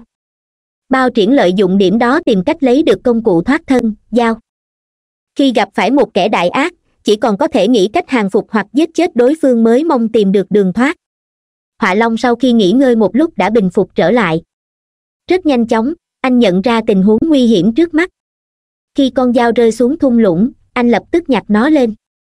Bao triển ra hiệu cho mọi người đồng loạt chiếu đèn vào mắt người nửa mặt. Người nửa mặt đưa tay lên chắn ánh sáng khiến vùng bụng hở ra. Họa long không chờ bao triển phải nhắc nhở, lập tức rút dao, hết sức bình sinh phóng dao về phía người nửa mặt. Dưới ánh sáng của đèn chiếu, mục tiêu hiện ra rõ mồn một phi dao là một kỹ năng bắt buộc đối với cảnh sát vũ trang và đặc chủng binh. Họa long là huấn luyện viên cảnh sát vũ trang, nên khả phi dao của anh đã đạt đến mức tuyệt kỹ. Hơn thế, trong giờ phút ngàn cân treo sợi tóc này, chỉ cần một sai sót nhỏ, cả nhóm người có thể sẽ phải chết dưới họng súng của kẻ sát nhân, vì thế họa long không thể không dùng hết sự tập trung vào đó, người nửa mặt trúng thương, ngã xuống thung lũng rắn nhưng vẫn cố gắng bò dậy. Đang trong lúc cố gắng đứng lên hắn đã bị cả nhóm quay lại, dán cho một trận thập tử nhất sinh. Đến khi cảnh sát dưới núi lên tới nơi, hắn chỉ còn vài hơi thở thoi thóp. Cảnh sát địa phương đưa tất cả ra khỏi thung lũng rắn người nửa mặt được đưa xuống bệnh viện thị trấn cấp cứu tại bệnh viện, người nửa mặt được phẫu thuật và hưởng những đãi ngộ cao nhất, hai bốn trên hai bốn có cảnh sát canh giữ. Một cô y tá đi dọc hành lang, hỏi một cảnh sát, trong đó là cán bộ cao cấp ạ? À. cảnh sát lắc đầu trả lời, không phải cô y tá hỏi tiếp, thế tại sao phải mời chuyên gia hội chẩn, rồi còn được dùng thuốc tốt nhất, lại còn có cảnh sát bảo vệ suốt ngày đêm nữa? Chí ít cũng phải là một quan chức nào đó chứ. Một cảnh sát khác trả lời, hắn là một tên súc sinh, không bằng loài cầm thú. Tội ác mà hắn gây ra có thể khiến cô phát khóc đấy. Rất nhanh chóng, phía cảnh sát đã điều tra ra thân phận của người nửa mặt. Người này từ khi sinh ra đã là một quái thai, mẹ của hắn vì khó đẻ mà qua đời các bác sĩ nhi gọi hắn là em bé cá heo. Đây là một hiện tượng dị tật bẩm sinh hiếm gặp, đặc điểm chính là đôi chân của đứa trẻ bị dính liền, nhìn như chân của loài cá heo dưới biển. Người nửa mặt từ lúc lọt lòng đã mồ côi mẹ, lớn lên cùng cha. Sau khi phẫu thuật tách chân xong, dáng đi của hắn hơi giống loài tinh tinh, bước đi nặng nề, cơ thể lúc nào cũng nghiêng một bên. Người nửa mặt chưa bao giờ được đi học. Hắn lớn lên trong tự nhiên cùng với người cha làm nghề săn bắn cha hắn trước đây từng nuôi ếch, rồi nuôi chồn để bán cho các quán dưới thị trấn. Năm người nửa mặt mười sáu tuổi, cha hắn nhờ người kiếm được mấy con cá sấu định nuôi trộn sau này bán lấy tiền. Sau lần một con cá sấu tấn công làm hỏng nửa mặt, hắn bắt đầu phải đeo chiếc mặt nạ pha lê cho tới tận bây giờ. Sau khi cha mất, người nửa mặt sống một mình trên núi. Năm hai sáu tuổi, hắn nuôi gà rừng, năm hai chín tuổi nuôi báo, năm ba ba tuổi nuôi rắn người nửa mặt cảm thấy thù hận những vị khách du lịch leo núi, vì hắn nghĩ họ đã quấy rầy cuộc sống của hắn. Khi cảnh sát đi điều tra các khu vực lân cận, dân chúng cho biết hắn từng chỉ súng hăm dọa một nhóm người đi hái lượng. Người nửa mặt rất sống cô độc, hắn thích cuộc sống cùng các loại động vật hơn là với con người. Hắn có một con chó săn lúc nào cũng bên cạnh, không bao giờ rời xa nửa bước. Hắn căm ghét cả những người bán thịt động vật hoang dã ở dưới núi nhưng lại không có cách nào sống được nếu không làm nghề cung cấp hàng hóa cho họ. Một hôm, con chó săn thân thiết của hắn bỗng lăn ra chết. Theo những gì tổ chuyên án phân tích, đây có thể là nguyên nhân ban đầu dẫn đến hành động mang rợ của hắn. Mấy hôm sau, khi người nửa mặt đã tỉnh lại, dù chưa bình phục nhưng đã có thể nói chuyện, giáo sư lương và lực lượng cảnh sát đã đến tiến hành thẩm vấn sơ bộ. Giáo sư lương, con chó săn của cậu tên gì? Người nửa mặt, sơn pháo giáo sư lương, giống tên người cha đã mất của cậu à. Người nửa mặt, tôi từ lâu đã chẳng muốn sống nữa rồi. Giáo sư lương, vì thế nên cậu giết người. Dùng cách thức giết người giả mang như thế. Cho xác nạn nhân vào nồi. Người nửa mặt, cô gái đó không phải do tôi giết hại. Giáo sư lương, nói thật cho cậu biết, chúng tôi tìm thấy trên chui dao dấu vân tay của một người khác, cậu có thể nói cho chúng tôi biết đã có chuyện gì xảy ra không? Người nửa mặt ngậm miệng không nói, quay đầu sang một bên, tỏ thái độ dù chết cũng không hé răng. Giáo sư lương lấy ra một chiếc điện thoại, chính là chiếc mà bao triển đã tìm thấy trong đống đá vụn của đóa hoa độc, trong đó có một số bức ảnh tự chụp. Bao triển từng bị những bức ảnh trong đó làm cho run sợ, họa long và tommy sau khi thấy cũng tỏ vẻ thất kinh. Trong chiếc điện thoại rốt cục ẩn chứa bí mật gì mà khiến tổ chuyên án cảm thấy sợ sệt như vậy?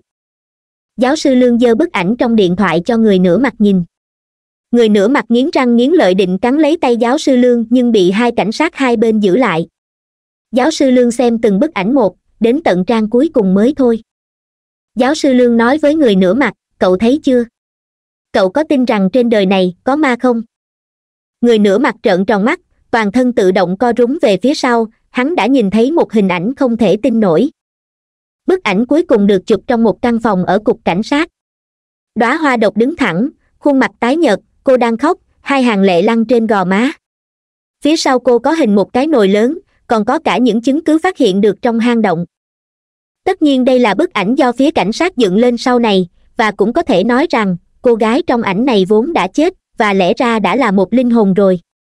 Người nửa mặt không thể tin nổi vào mắt mình rằng người chết có thể sống lại xác chết vẫn có thể đứng dậy và đi lại. Giáo sư lương dùng kế dương đông kích tây, không ngừng đề cập đến vấn đề hồn ma trở về báo oán. Người nửa mặt đã sụp đổ tinh thần hoàn toàn. Xuất phát từ tâm lý sợ ma quỷ báo thù, hắn đã quyết định khai báo toàn bộ sự thật với phía cảnh sát. Trong bức ảnh cuối cùng, người đứng đó chính là gia gia. Gia gia và đóa hoa độc nhìn giống nhau như một. Khi bao triển nhìn thấy những bức ảnh tự chụp trong điện thoại của hoa hoa xác định được danh tính nạn nhân trong nồi nhưng đồng thời cũng phát hiện ra gia gia và hoa hoa trông giống nhau như hai giọt nước, bao triển và tommy họa long đều vô cùng kinh ngạc. Ngoài việc tráo tử thi ra, chỉ còn một khả năng nữa, đó là gia gia và hoa hoa là hai chị em sinh đôi.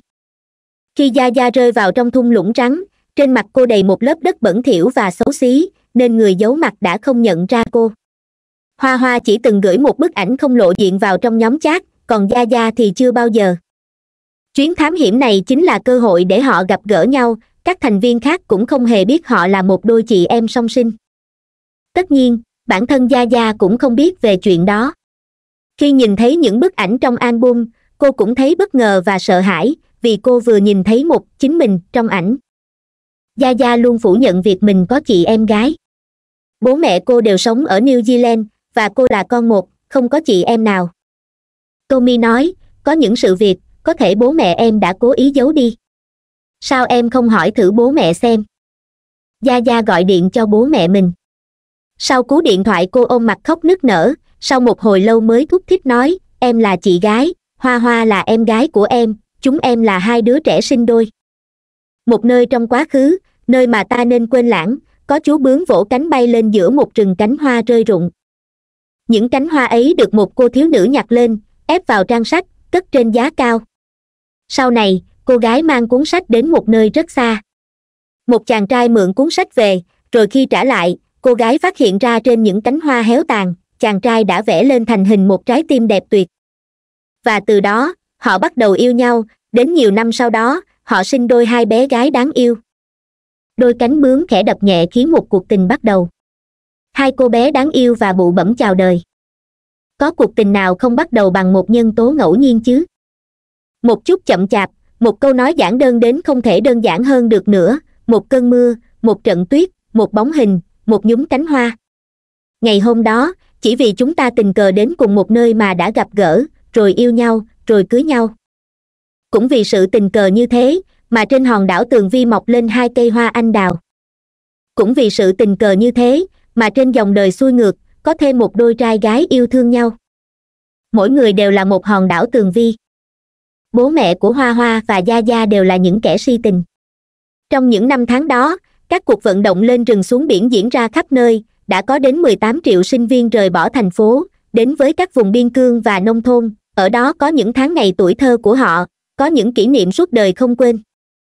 Sau khi kỳ thi đại học được tổ chức trở lại, họ trở về thành phố của chính mình và viết rất nhiều thư từ cho nhau. Năm 1988, họ kết hôn nhưng chẳng bao lâu đã ly hôn. Khi bố mẹ chia xa hoa hoa và gia gia mới ba tháng tuổi. Bố đưa gia gia ra nước ngoài còn mẹ ở lại tại một thành phố miền bắc nuôi dưỡng hoa hoa thành người. Bố mẹ giấu cả hai về việc họ từng ly hôn và bắt đầu cuộc sống mới. Từ trước đến nay gia gia chưa từng bao giờ biết được rằng mình có một người em gái. Còn hoa hoa chưa bao giờ có cơ hội được gọi một tiếng, chị ơi. Hai đứa trẻ từ đó mỗi người một nơi. Bố gia gia đã tái hôn sau đó. Sau nhiều năm cố gắng, sự nghiệp làm ăn xuyên quốc gia của ông ngày một lớn mạnh, gia gia từ nhỏ đã được sống trong cảnh nhung lụa giàu sang. Mẹ của hoa hoa ở vậy suốt đời, nuôi cô con gái của mình không lớn, hai mẹ con sống dựa vào nhau. Khi hoa hoa phát hiện ra những đứa trẻ khác đều có bố, chỉ một mình mình không có, cô bé hỏi mẹ mẹ cô trả lời, bố con đã chết rồi.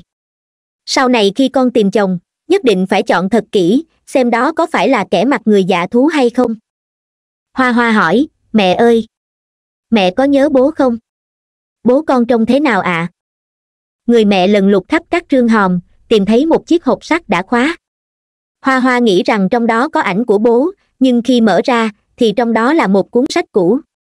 Mẹ cô vẫn giữ cuốn sách sau bao nhiêu năm? Ở trang sách cuối còn ép những cánh hoa anh đào khô. Những đứa trẻ gái trong gia đình đơn thân đều là những nàng tiên cá. Chúng phải uống nước biển vừa mặn vừa chát để lớn lên. Sau những gian khổ không phải ai cũng hiểu ấy, chúng sẽ nhìn thấu hơn về cuộc sống, thấy những nguy hiểm ẩn giấu trong đó. Nhìn thấy rõ những con cá mập đang lập lờ trên những con đường đêm. Lòng tự tôn và sự kiên cường tạo cho họ một vỏ bọc, trong lòng có những viên trân châu sáng chói, nhưng bên gối vẫn phải khóc vì người hoa hoa vào đại học, rồi thích một cậu bạn. Cô bé lấy hết can đảm kể với mẹ. Người mẹ nổi trận lôi đình, rồi cằn nhằn cô suốt mấy ngày liền, mối tình đầu của cô đã chết yểu như thế đấy. Mãi tận cho tới khi tốt nghiệp, hoa hoa cũng không có thêm người bạn trai nào nữa. Cô thích đi du lịch một mình, khi một mình đến những nơi xa lạ, sẽ không còn cảm thấy cuộc sống bị bó buộc gì nữa. Cô luôn cảm thấy có ai đó đang đợi cô ở một nơi xa lắm, gia gia cũng rất yêu thích du lịch trong lòng cô cũng có chút dự cảm rằng mình sẽ gặp một ai đó quan trọng. Khoa học đã chứng minh rằng, có rất nhiều cặp song sinh có những sở thích và tính cách giống nhau. Có một cặp chị em sinh đôi ở thượng hải, khi làm bài thi đều được cùng mức 479 điểm. Các nhà báo vì muốn kiểm tra những đặc điểm tâm lý của trẻ sinh đôi, mà từng đến tận nhà để phỏng vấn, họ phát hiện điểm số của hai cô bé đều tương đối đồng đều. Khi mẹ nhìn vào bảng điểm của chị, cũng có nghĩa đang nhìn vào bảng điểm của em thậm chí, thế mạnh và điểm yếu của họ trong các môn học cũng như nhau. Có một điều khó giải thích là trong một lần làm văn, đến đầu bài của hai chị em cũng giống nhau, và đoạn đầu cũng viết không sai một chữ. Tại mỹ có một cặp song sinh lạc khi còn nhỏ. Người anh thường bị những người lạ nhầm thành người em. Lúc đầu, anh ta tưởng rằng ở đâu đó có một người trông giống hệt mình, nhưng sau đó, anh ta nhận được một cú điện thoại, và khi hai người vừa cất tiếng, thì mọi thứ đều đã rõ giọng nói của họ cũng giống nhau như đúc người em cũng thường xuyên bị nhầm thành người anh. Sau khi liên lạc được với nhau, họ quyết định gặp mặt. Hai người kinh ngạc phát hiện ra rằng họ không chỉ giống nhau về ngoại hình, mà đến loại thuốc lá, loại bia thường uống của họ cũng giống nhau. Rất nhiều cặp song sinh có những trải nghiệm như thế. Mặc dù mỗi người sống ở một nơi riêng biệt nhưng họ đều hiểu nửa còn lại đang nghĩ gì. Gia gia và hoa hoa mặc dù cổ xe vận mệnh hoàn toàn khác nhau nhưng hai cổ xe ấy rồi sẽ có ngày gặp nhau. Một lần nọ, gia gia về nước đi thăm ông bà nội. Hoa hoa đi từ trường học về nhà. Họ ngồi trên hai chuyến tàu điện ngầm khác nhau. Họ không sống trong cùng một thành phố, họ không lên tàu cùng một nơi nơi xuống tàu cũng chẳng phải cùng một chỗ. Nơi cần đến của họ cũng không giống nhau, nhưng hai chiếc xe đã dừng lại ở cùng một trạm nhỏ. Hoa hoa đưa mắt ra phía ngoài xe nhìn một lát, phía đối diện trên chiếc tàu điện ngầm dường như cũng có một đôi mắt đang nhìn về phía cô. Người con gái trên xe đó chính là gia gia. Tại trạm dừng bé nhỏ nhưng đầy ý nghĩa này, họ đã cùng lúc nhìn thấy đối phương, cùng lúc nhìn thấy một người giống mình như đúc. Họ cảm thấy vô cùng hiếu kỳ, cả hai đều có cảm giác tim đập không ngừng, nhưng rồi lại tự an ủi rằng đó có lẽ là bóng mình in trên cửa sổ con tàu đối diện mà thôi hoặc có thể do hoa mắt, hoặc cô gái kia chỉ là trông giống mình thôi những con tàu chẳng mấy chốc đã lại lăn bánh vút đi, họ gặp nhau trong tích tắc, và rồi từ đó chẳng bao giờ còn cơ hội gặp lại. Hai cô gái trẻ, giống như hai trái anh đào trên cành bị số phận đẩy đến những nơi khác nhau. Một người mãi vì một người mà giữ gìn nhan sắc. Một người mãi vì một người mà để lại những kỷ niệm. Câu chuyện về sự linh cảm của những cặp song sinh thực sự rất khó giải thích. Hoa hoa và gia gia đều rất thích ăn anh đào, bạn trai của họ cũng liên quan đến anh đào gia gia mỗi khi mua anh đào đều phải đi ngang qua một ngã ba thường xuyên xảy ra tai nạn, một chiếc xe suýt nữa đâm phải cô, khiến những trái anh đào rơi đầy đường. Từ trên xe bước xuống một chàng trai khôi ngô tuấn tú. Chàng trai không ngừng xin lỗi, rồi cúi xuống giúp cô nhặt những trái anh đào rơi vào giỏ. Nhặt đến trái cuối cùng, hai bàn tay của họ chạm vào nhau, và từ đó, tình yêu bắt đầu. Hoa hoa từng một mình đến lệ giang du lịch. Khi đến một sườn dốc ngoại ô cô nhìn thấy một cây anh đào đang nở rộ, dưới gốc cây có một chàng trai đang ngồi nghỉ ngơi. Giây phút ấy, cô không biết rằng tình yêu đang đến gần, chỉ cảm thấy bỗng dưng trời bừng sáng, trong xanh hơn mọi khi, hương vị mùa xuân có pha chút hương kẹo ngọt. Chàng trai đeo một chiếc ba lô, hình như cũng đi du lịch.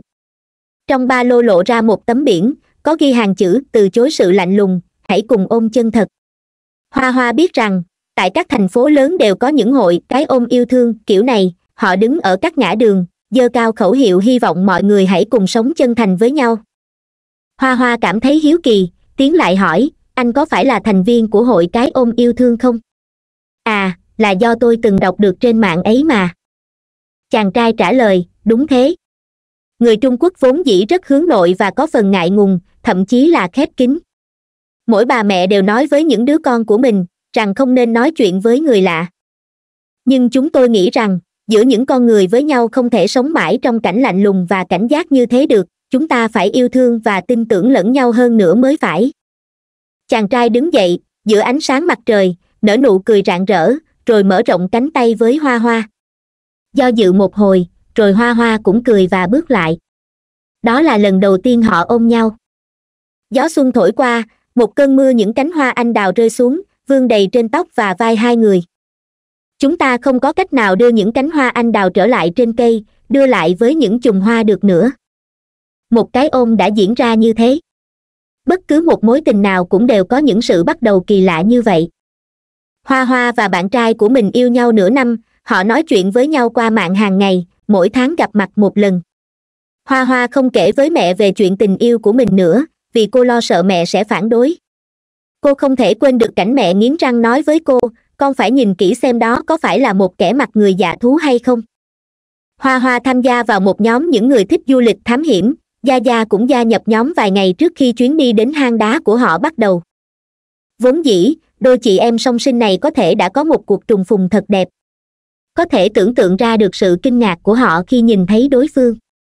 Họ đều thích du lịch, đều thích đến những nơi xa xôi, cũng có thể chính là để tìm kiếm một nửa bị thất lạc kia thế nhưng bi kịch đã xảy ra, hoa hoa và bạn trai đến sớm hơn hai ngày, những người khác hai hôm sau mới tới địa điểm tập hợp dưới chân núi. Nếu con bướm ấy không vỗ cánh, những cánh hoa có lẽ đã chẳng lìa cành, sẽ không có những cánh hoa ép trong trang sách, sẽ không có bi kịch của ngày hôm nay. Ngày xảy ra vụ án mạng, hoa hoa và bạn trai mình đến xem hang động đó. Họ tìm một người bản địa dưới núi để làm hướng dẫn viên, hỏi thăm vị trí hang động. Người hướng dẫn viên nói, năm mươi tệ bạn trai hoa hoa nói, được. Đưa chúng tôi đến hang động đó, rồi đưa xuống núi. Ba người họ đi lên khu núi hoang vu không giấu chân người. Khi đến cửa hang động, hướng dẫn viên đứng ngoài để hai người tự vào trong. Họ cầm theo đèn pin vào thám hiểm hang động. Bạn trai hoa hoa bỗng nổi lên ý định thử cuộc sống như thời nguyên thủy sống trong hang. Hoa hoa do dự một hồi, nhưng bạn trai vẫn kiên quyết làm theo ý mình. Người hướng dẫn viên què một bên chân chạy vội vào trong hang tìm hai người khách. Người nửa mặt nuôi rắn trong hang, hướng dẫn viên là người bản địa, từng quen với người nửa mặt. Lúc đó họ có nói chuyện với nhau vài câu phía ngoài hang động, hướng dẫn viên muốn người nửa mặt gỡ mặt nạ xuống. Người nửa mặt rất thích cuộc sống hoang dã, vì chỉ ở đó hoặc ở trong hang, anh ta mới không cần đeo mặt nạ ngụy trang. Chỉ khi gặp khách du lịch hoặc người dân dưới núi, anh ta mới đành phải đeo vào, để khỏi khiến đối phương phải sợ chết khiếp người nửa mặt vừa bỏ mặt nạ ra, hướng dẫn viên đã cười nói, tôi biết vì sao bố anh chết rồi. Chắc chắn là bị anh dọa chết khiếp người nửa mặt đáp, không phải thế. Hướng dẫn viên vẫn cố lải nhải, nếu ông ấy mà chui được từ dưới mồ lên, nhìn thấy bộ mặt này của anh, chắc lại sợ mà chết đi lần nữa. Người nửa mặt tức giận quát, còn nói nữa tôi giết anh đấy. Hướng dẫn viên nhún vai cười nói, tôi mà phải sợ anh à đồ nửa mặt nghe nói anh còn có một thằng em sinh đôi nữa đúng không? Lúc vừa đẻ ra đã chết yểu rồi. Hay là nó cũng bị anh dọa chết khiếp từ lúc còn trong bụng mẹ thế? Hai người cãi nhau qua lại, người nửa mặt mỗi lúc một tức giận hơn. Anh ta chỉ súng về phía người hướng dẫn viên. Hướng dẫn viên sợ hãi chạy vào trong động, người nửa mặt chạy đuổi theo phía sau, rồi bắn chết hắn ngay trước mặt hoa hoa và bạn trai. Sau khi sự việc xảy ra cảnh sát tìm được thi thể của hướng dẫn viên trong một vũng nước động trong hang. Trong thâm tâm mỗi con người đều tiềm ẩn những nhân tố ác, có thể khiến họ giết người không chớp mắt. Người nửa mặt tay trái cầm đèn, tay phải giơ súng, ép đôi nam nữ về phía đống đá vụn. Hai người cầu xin tha mạng, người nửa mặt vốn định giết người diệt khẩu, nhưng bỗng nổi lòng từ bi, quyết định thả một người đi. Hai người co ro trong góc hang, hoa hoa khóc lóc cầu xin, rồi ôm chặt lấy bạn trai mình bạn trai cô cầm chiếc dao mông cổ, tay run lẩy bẩy. Người nửa mặt chỉ súng về phía họ, nói, hai đứa mày, chỉ được sống một đứa. Nếu mày giết con bé đó mày sẽ được sống. Bạn trai hoa hoa nói với hắn, dù tôi giết chết cô ấy, ông cũng sẽ giết chết tôi thôi, tôi biết thừa. Người nửa mặt trả lời, không đời nào. Mày cũng là kẻ giết người rồi, cũng giống như tao thôi, tao sẽ thả cho mày đi. Cái ác trong con người có những lúc không thể lý giải được dưới họng súng, bạn trai hoa hoa vì mạng sống của mình mà do dự cầm dao. Hai người họ đều thấy người nửa mặt dùng súng bắn chết hướng dẫn viên, cả hai chắc sẽ đều phải chết. Sau này, cảnh sát tìm thấy bạn trai hoa hoa trong một khách sạn tại một khu du lịch. Con người từ chối sự lãnh đạm, muốn mở rộng vòng tay ôm lấy mọi người xung quanh này, người thanh niên thời thượng này, đã bốc hơi khỏi trần gian. Khi bị cảnh sát tìm thấy, anh ta đang nửa tỉnh nửa điên, quỳ trước một ngôi chùa không ngừng đập đầu xin vị hòa thượng trong chùa thu nhận. Phía cảnh sát liên lạc với mẹ hoa hoa thông báo về cái chết của cô con gái. Nhưng có một cô gái y hệt hoa hoa đã đứng trước cửa nhà chờ đợi. Gia gia quỳ sụp dưới đất, gào khóc gọi mẹ, khiến tất cả mọi người ở đó đều cảm động đến rơi lệ. Người mẹ nước mắt rơi lã chả không cất lên lời. Tổ chuyên án tiến hành điều tra sâu hơn về thân thế của người nửa mặt. Họ phát hiện ra người quái thai này còn có một người em sinh đôi nữa khi người mẹ sinh hai anh em ra nói chính xác hơn là một đứa trẻ đã chết từ lúc trong bụng mẹ. Một chú bướm trên cành anh đào lại vỗ cánh bay vài cánh hoa lại rụng rơi xuống đất. Nếu thấy hay thì nhớ like và đăng ký kênh để ủng hộ mình nha. Chương 8, xác đàn bà trong nhà vệ sinh. Lời dẫn. Tôi mang cho em sự bi ai của một con người suốt đời chỉ biết ngắm nhìn vầng trăng cô quạng george louis borger ngày 3 tháng 10 năm 2008, một người phụ nữ 30 tuổi đáp chuyến tàu về quê. Khi tàu dừng tại trạm xuống, đã là 4 giờ sáng. Đó là một phố huyện nhỏ, nên số khách xuống tàu chẳng đáng là bao. Người phụ nữ đi về phía một con ngõ nhỏ vắng người. Trong ngõ tối om, đèn đường cũng không có. Một mình đi trong bóng tối, ai không tránh khỏi có cảm giác đang có người đi theo mình. Người phụ nữ bất ngờ quay ngoắt lại nhìn, thì không thấy ai, cả con ngõ vẫn nguyên một màu đen u ám không có đến một cơn gió thổi qua, những tán cây cao cũng im thinh thích khung cảnh ấy khiến người ta không khỏi tim đập chân run. Bỗng nhiên người phụ nữ thấy muốn đi vệ sinh. Ngay cạnh con ngõ có một khu nhà ổ chuột đã cũ nát, cô vội lần theo đường mòn tiến vào, định tìm một nhà vệ sinh công cộng nào đó. Cả khu nhà ở yên lặng đến lạ kỳ, dường như không có bất kỳ một âm thanh nào phát ra ở đây trừ tiếng bước chân của cô. Mặt đường lởm chởm khó đi trên mặt còn rải một lớp xỉ than khiến mỗi bước chân của cô đều kêu lên sột soạt. Giữa bóng đêm, cô lại có linh cảm phía sau đang có người đi theo mình, nhưng khi quay đầu nhìn lại tất cả vẫn chỉ là có một miền trống trải. Đúng lúc sắp không nhịn nổi nữa, thì cô gặp được một nhà vệ sinh công cộng, không chút chần chừ, cô bước lẹ vào trong. Phía ngoài đã tối, bên trong nhà vệ sinh còn tối hơn, có dơ cả bàn tay trước mặt cũng chẳng thấy nổi ngón tay nào người phụ nữ mượn ánh sáng yếu ớt hắt ra từ chiếc điện thoại lò dò bước vào một khoang trong nhà vệ sinh. Các gian trong nhà vệ sinh công cộng này được ngăn với nhau bằng những tấm gỗ ép ba tầng ọp ẹp, cánh cửa cũng không đóng lại nổi. Người phụ nữ vừa ngồi xuống thì bỗng nghe phía ngoài có tiếng bước chân. Tiếng bước chân của ai đó đang dẫm lên những viên sĩ thang kêu sột soạt mỗi lúc một gần, rồi cô nghe tiếng chân người bước vào trong nhà vệ sinh công cộng nơi cô đang ngồi. Phía sát chân tường ngăn giữa các khoang đều có những khe hở người phụ nữ dùng ánh sáng của chiếc điện thoại chiếu thử ra ngoài. Trong ánh sáng lờ mờ, cô nhận ra có người đang đứng phía ngoài. Người đó đi giày, nhưng điều đang hiện trước mặt cô là, đó không phải là một đôi giày phụ nữ. Điều đó đồng nghĩa với việc đang có một người đàn ông đứng ngay phía ngoài gian buồng vệ sinh mà cô đang ngồi, và họ chỉ cách nhau một chiếc cửa gỗ không chút kiên cố nào.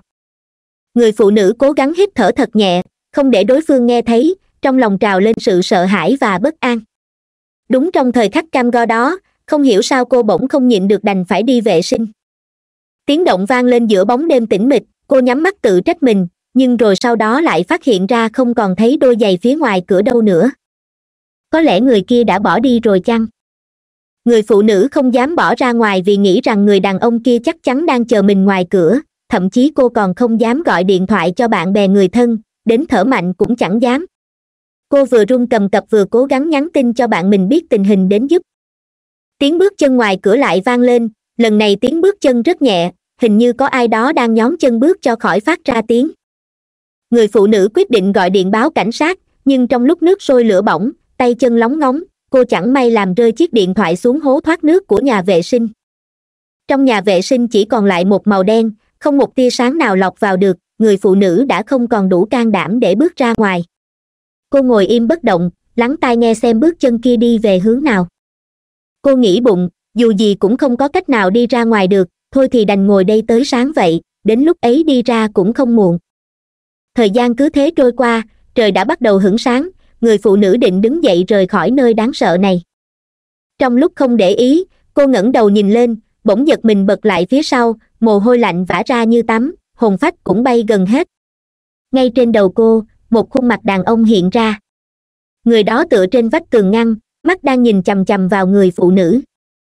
Bấy giờ cô mới chợt hiểu, thì ra suốt từ khi trời còn chưa sáng, người đàn ông đó đã liên tục ngồi canh chừng cô trong bóng tối. Ngày hôm sau, người ta tìm thấy thi thể một người phụ nữ trong nhà vệ sinh công cộng.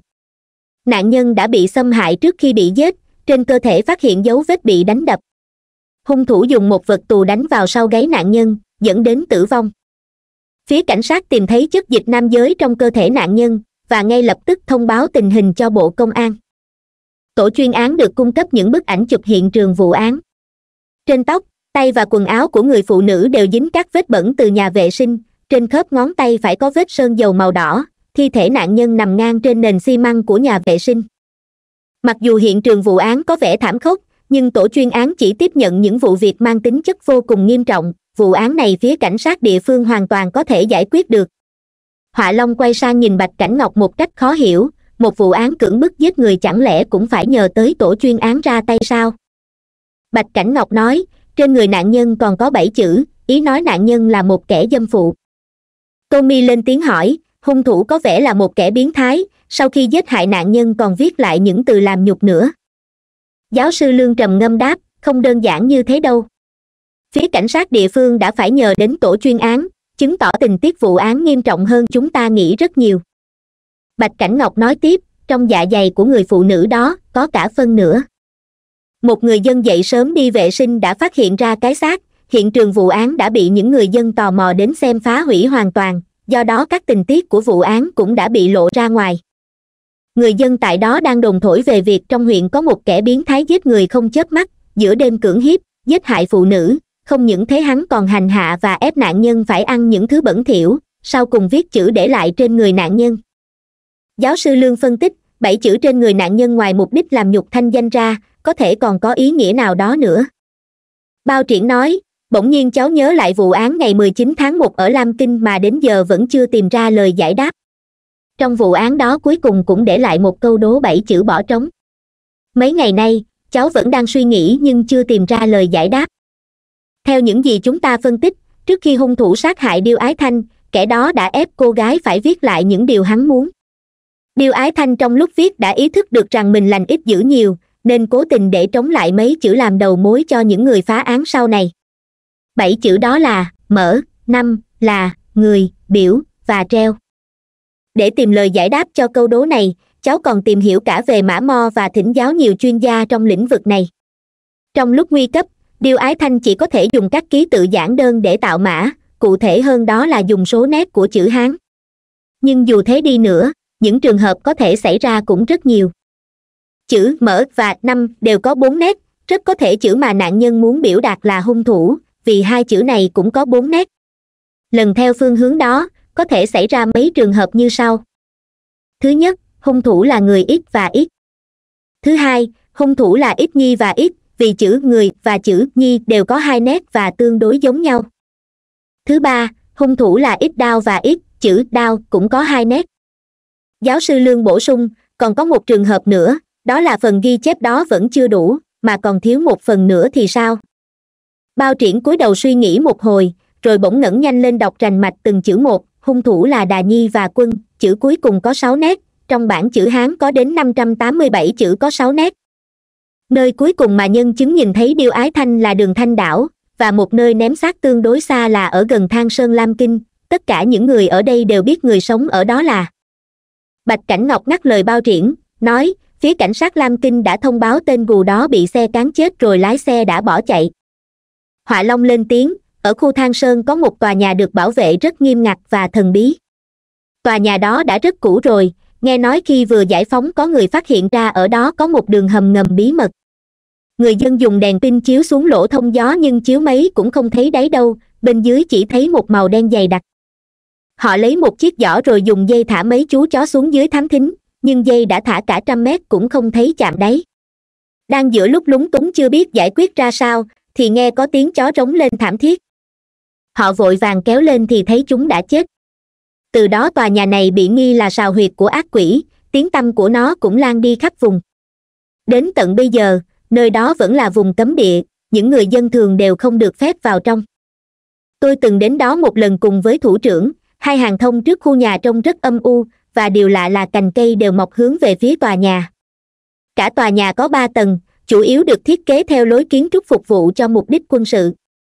Nghe nói nguyên liệu xây tòa nhà đó đều được chuyển bằng không vận từ mỹ sang ở phía bên phải của cửa chính, trên mặt đất có một vết cháy, mà tới giờ vẫn bị đồn là vết cháy hình người, vì dù cọ rửa kiểu gì cũng không thể sạch được. Phía dưới tòa nhà có một mật thất rộng lớn và vô cùng thần bí, cụ thể được dùng vào mục đích gì thì những người ngoài đều không rõ. Khi tôi bước vào trong đó, cứ có cảm giác cả tòa nhà như đang ẩn giấu một cái bẫy nào đó, nếu không có người dẫn đường, thì chỉ có nước lạc trong đó mà thôi. Cửa các căn phòng đều rất thấp, những cửa bên đều được thiết kế kiểu chìm vào trong đó điện thoại mất sóng, và ở vào trạng thái chết màn hình. Tầng một có một lối đi bí mật thông với mật thất, cửa vào đường hầm bí mật được chắn kiên cố bằng lưới thép. Khi bước vào trong, chỉ có một màu đen, không biết cuối đường dẫn đến nơi nào. Tommy nói, có một số nơi ngay cả công an cảnh sát cũng không được phép vào.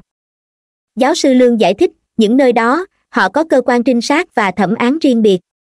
Bạch cảnh ngọc lên tiếng ngắt ngang cuộc thảo luận của mọi người, rồi nói nhát gừng từ sau đừng ai nhắc đến vụ án đó nữa. Mọi người trầm ngâm. Vụ án điêu ái thanh có thể sẽ trở thành một câu đố không lời giải, và mãi mãi sẽ không bao giờ biết được sự thật là gì. Tổ chuyên án lại bắt đầu một cuộc trường chinh khác, một chuyến đi mà rất có thể cuối đường chính là địa ngục. Vụ án giết người lần này xảy ra tại huyện thọ đảo, nằm ở khu vực tam giác châu thổ sông hoàng hà, là huyện thuộc diện nghèo cấp quốc gia.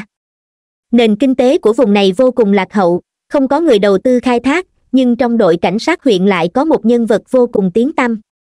Người này họ cao, là bác sĩ pháp y. Ông là chuyên gia mang tầm quốc gia trong việc giám định các chất thải cơ thể. Mỗi khi các địa phương khác xảy ra vụ việc có liên quan đến lĩnh vực này, ông thường là lựa chọn đầu tiên mà họ nghĩ đến.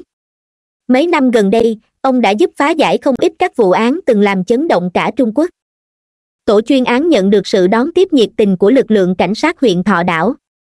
Tommy cảm thấy những người cảnh sát ở nơi đây chẳng giống cảnh sát chút nào, có người vẫn đi giày vải, điện thoại thì bỏ trong một cái túi rồi treo cạnh hông, giọng nói oan oan có phần thô thiển, ai không quen chắc sẽ nghĩ rằng họ đang cãi nhau.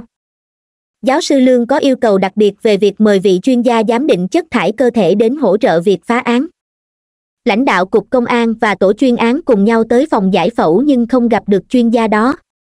Họ tìm hết các phòng xung quanh cũng không thấy bóng dáng ông ta đâu. Lãnh đạo cục công an có phần lo lắng, vội gọi điện cho chuyên gia hỏi thăm tình hình nhưng ông ta cũng không thèm nhấc máy. Lãnh đạo cục công an đành ngượng ngùng quay sang nói với tổ chuyên án, ông này cậy có tài nên hơi kiêu ngạo, hay làm cao.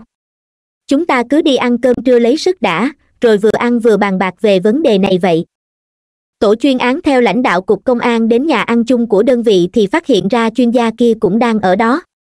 Ông ta đặt những loại rau trong giỏ ra bàn theo từng loại và từng mã hiệu, có vẻ đang rất bận rộn, đến mức dao giải phẫu cũng đặt đầy trên mặt bàn chưa kịp thu dọn. Lãnh đạo cục công an lên tiếng giới thiệu, anh cao, mấy vị đây là người của tổ chuyên án, được mời đến để giúp chúng ta phá án đấy. Chuyên gia không thèm ngẩng mặt lên, chỉ lý nhí vài câu nhưng nghe vẫn rõ ràng, trong mắt của tôi họ cũng chỉ là những kẻ chân ướt chân ráo thôi. Họa long bỗng thấy khô cổ rồi ho lên hai tiếng, cảm giác mình có chút sốt nhẹ, có lẽ là do toát mồ hôi quá nhiều. Anh thấy trên bàn đang đặt một chiếc nhiệt kế, liền tiến lại định mượn để đo nhiệt độ cơ thể. Họa long vừa cầm chiếc nhiệt kế lên, chuyên gia liền chậm chạp nói, đó là nhiệt kế chuyên để phá án, thường thì hay cắm vào miệng hoặc hậu môn của xác chết. Mọi người phá lên cười, riêng họa long có phần ngượng ngùng rồi vội bỏ chiếc nhiệt kế về chỗ cũ. Lãnh đạo cục cảnh sát mời tổ chuyên án ăn cơm cho đúng giờ đã, rồi nghiêm khắc lệnh cho chuyên gia kia bỏ hết những công việc đang làm lại, cùng ăn cơm. Trong giờ cơm, chuyên gia giới thiệu với giáo sư lương, tôi đã xét nghiệm thử rồi, còn dùng cả kính hiển vi để kiểm tra lượng chất xơ nữa. Với một nơi nghèo như huyện chúng tôi, trong phân không thể nào cao cấp như thế được. Tommy vừa gắp lên một miếng cá, nghe thấy vậy thì cau mày rồi lại từ từ bỏ xuống. Lãnh đạo cục công an cho biết họ đã điều tra ra danh tính của nạn nhân. Cô ta tên là trần lộ, là một giáo viên dạy ngữ văn tại một trường trung học trong huyện, là người có chút nhan sắc, nhưng tính tình khép kín.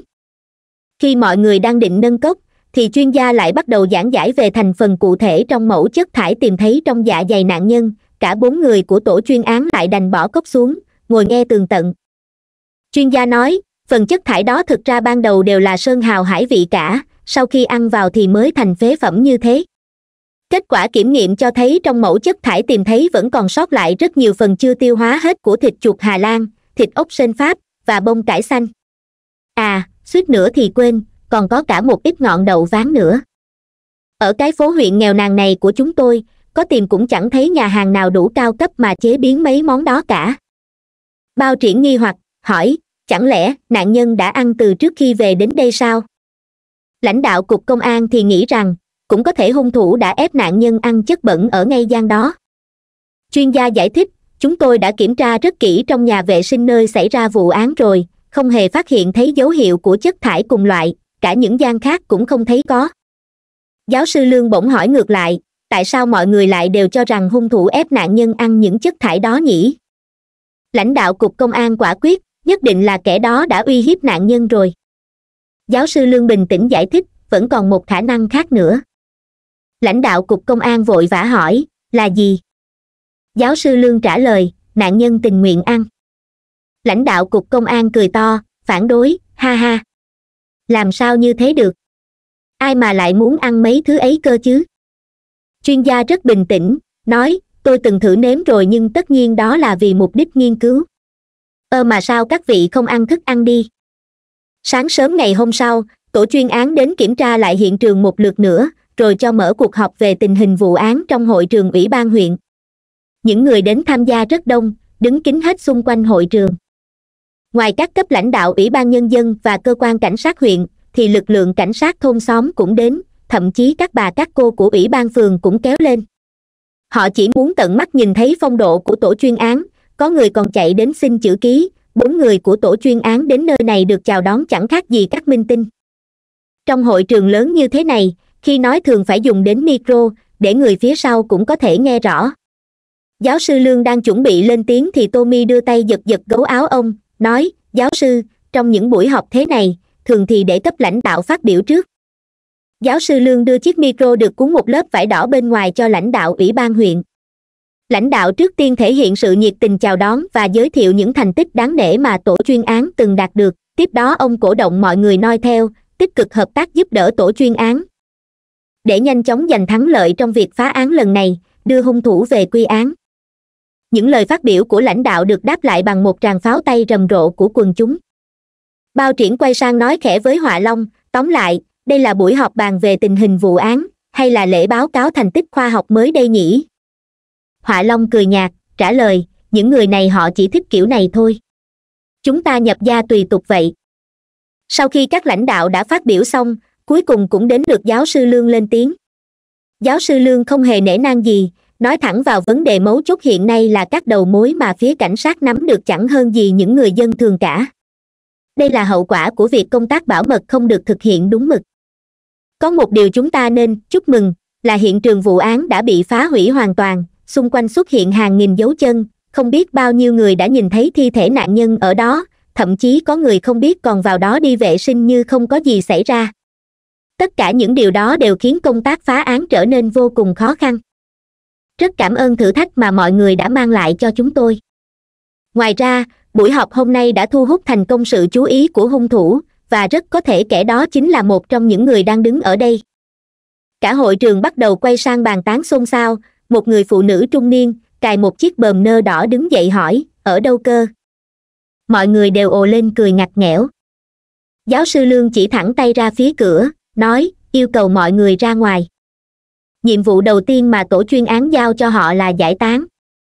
Ngoài các lãnh đạo của cục công an và chuyên gia kiểm nghiệm ra, những người khác đều bị yêu cầu rời khỏi cuộc họp, đồng thời liệt vụ án này vào hàng bảo mật cấp độ ba, nếu ai có hành động tiết lộ thông tin sẽ bị kỷ luật theo đúng quy định.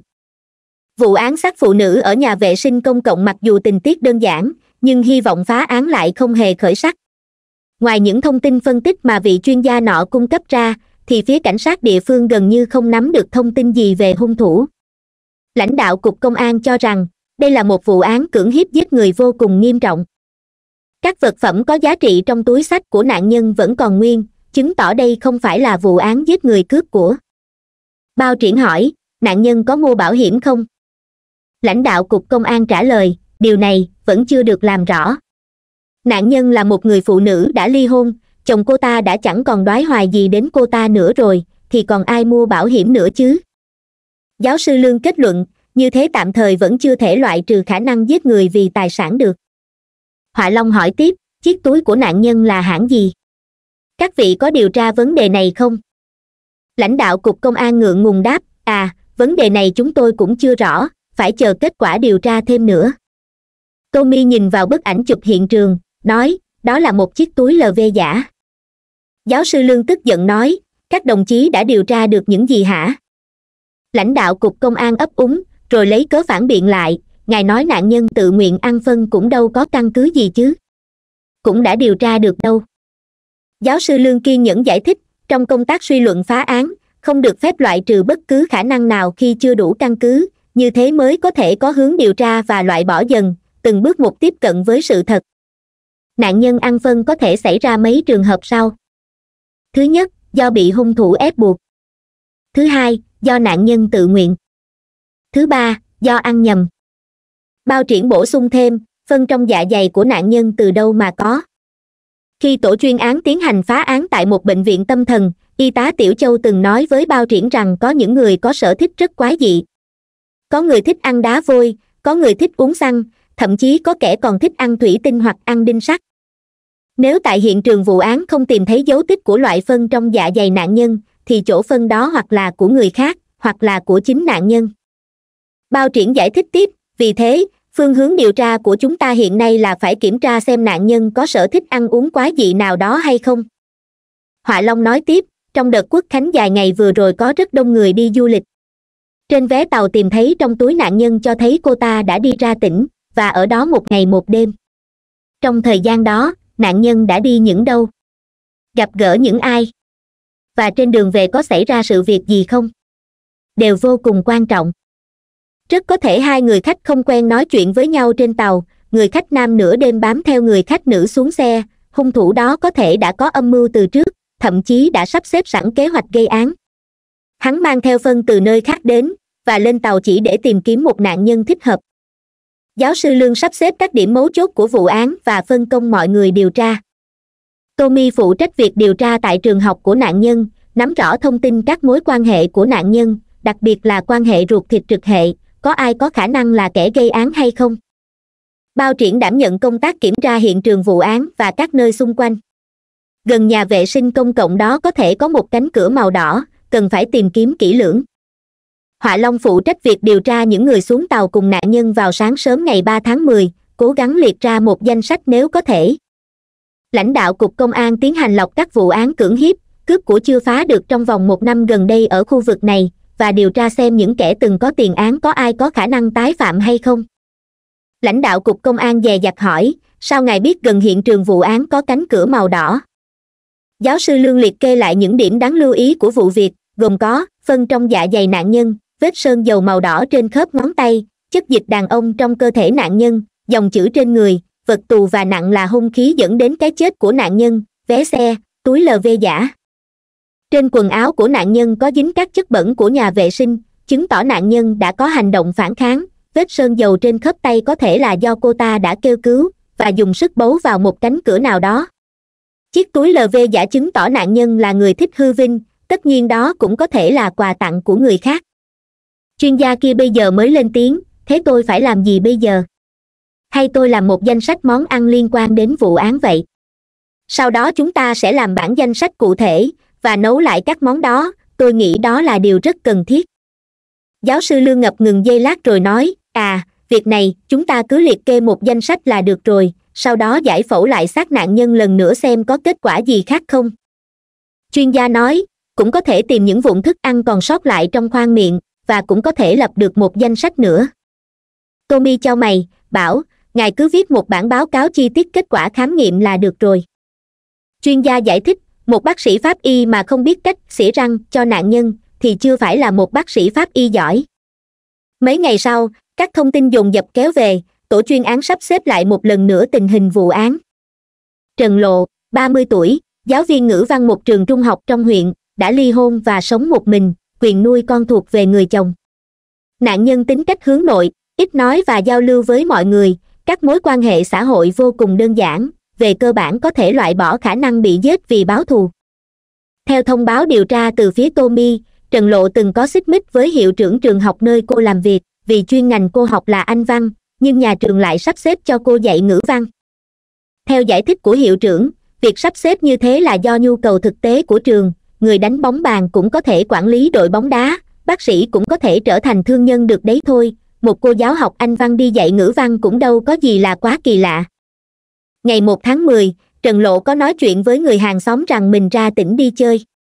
Theo thông tin từ phía hàng xóm và đồng nghiệp, họ chưa từng thấy chiếc túi lv giả của cô bao giờ, có thể cô đã mua khi đi chơi ngoài tỉnh. Bốn giờ sáng ngày ba tháng mười, nạn nhân trở về, họa long sau khi điều tra trạm trực ban được biết, lúc đó chỉ có ba người khách xuống tàu, hai trong số đó là một đôi vợ chồng. Đôi vợ chồng đó khi xuống tới cổng đã bắt một chiếc xe ba gác chạy điện và ra về trước họa long phải vất vả lắm mới tìm được người lái chiếc xe ba gác và mò được địa chỉ của đôi vợ chồng xuống tàu cùng nạn nhân. Họ cho biết sau khi về nhà vì quá mệt nên đã đi ngủ luôn. Họ cũng xác nhận xuống xe cùng lúc với trần lộ, và còn bàn tán nhau vì thấy rất lạ, tại sao không có ai đến đón cô ta. Bao triển kiểm tra lại một lần nữa hiện trường vụ án. Gần nơi phát hiện xác nạn nhân, quả nhiên có một cánh cửa màu đỏ mới sơn lại chưa lâu. Sau khi tiến hành hóa nghiệm mẫu sơn tìm thấy trên tay nạn nhân và trên cánh cửa hoàn toàn ăn khớp với nhau, chứng tỏ những suy đoán của giáo sư lương là chính xác. Nạn nhân từng bỏ chạy khỏi hiện trường, gõ cửa kêu cứu, nhưng chẳng may gia đình đó vừa chuyển đi mấy ngày trước rồi.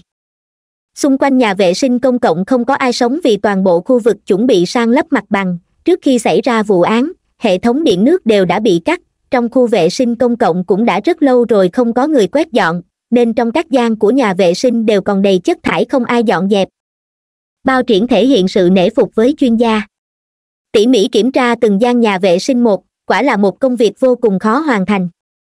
Có thể hình dung ra được rằng, trong đêm đen đó, hung thủ bám theo nạn nhân đến khu nhà vệ sinh.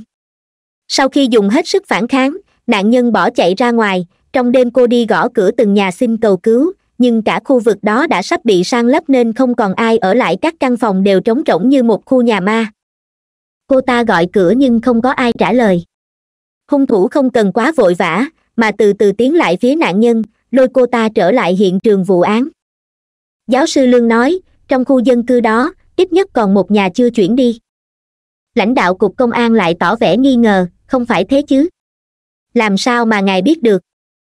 Giáo sư lương trả lời đó chính là người phát hiện ra xác nạn nhân, là người buổi sáng dậy đi vệ sinh ấy. Xung quanh hiện trường xảy ra vụ án vô cùng ảm đạm.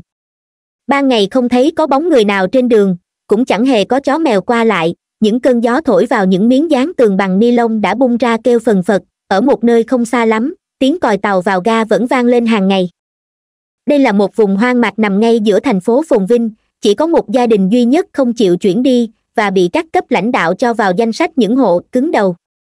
Gia đình đó họ lê, trên sổ đỏ họ có một miếng đất thổ cư nhỏ, trong đó có một căn nhà hai tầng đã cũ.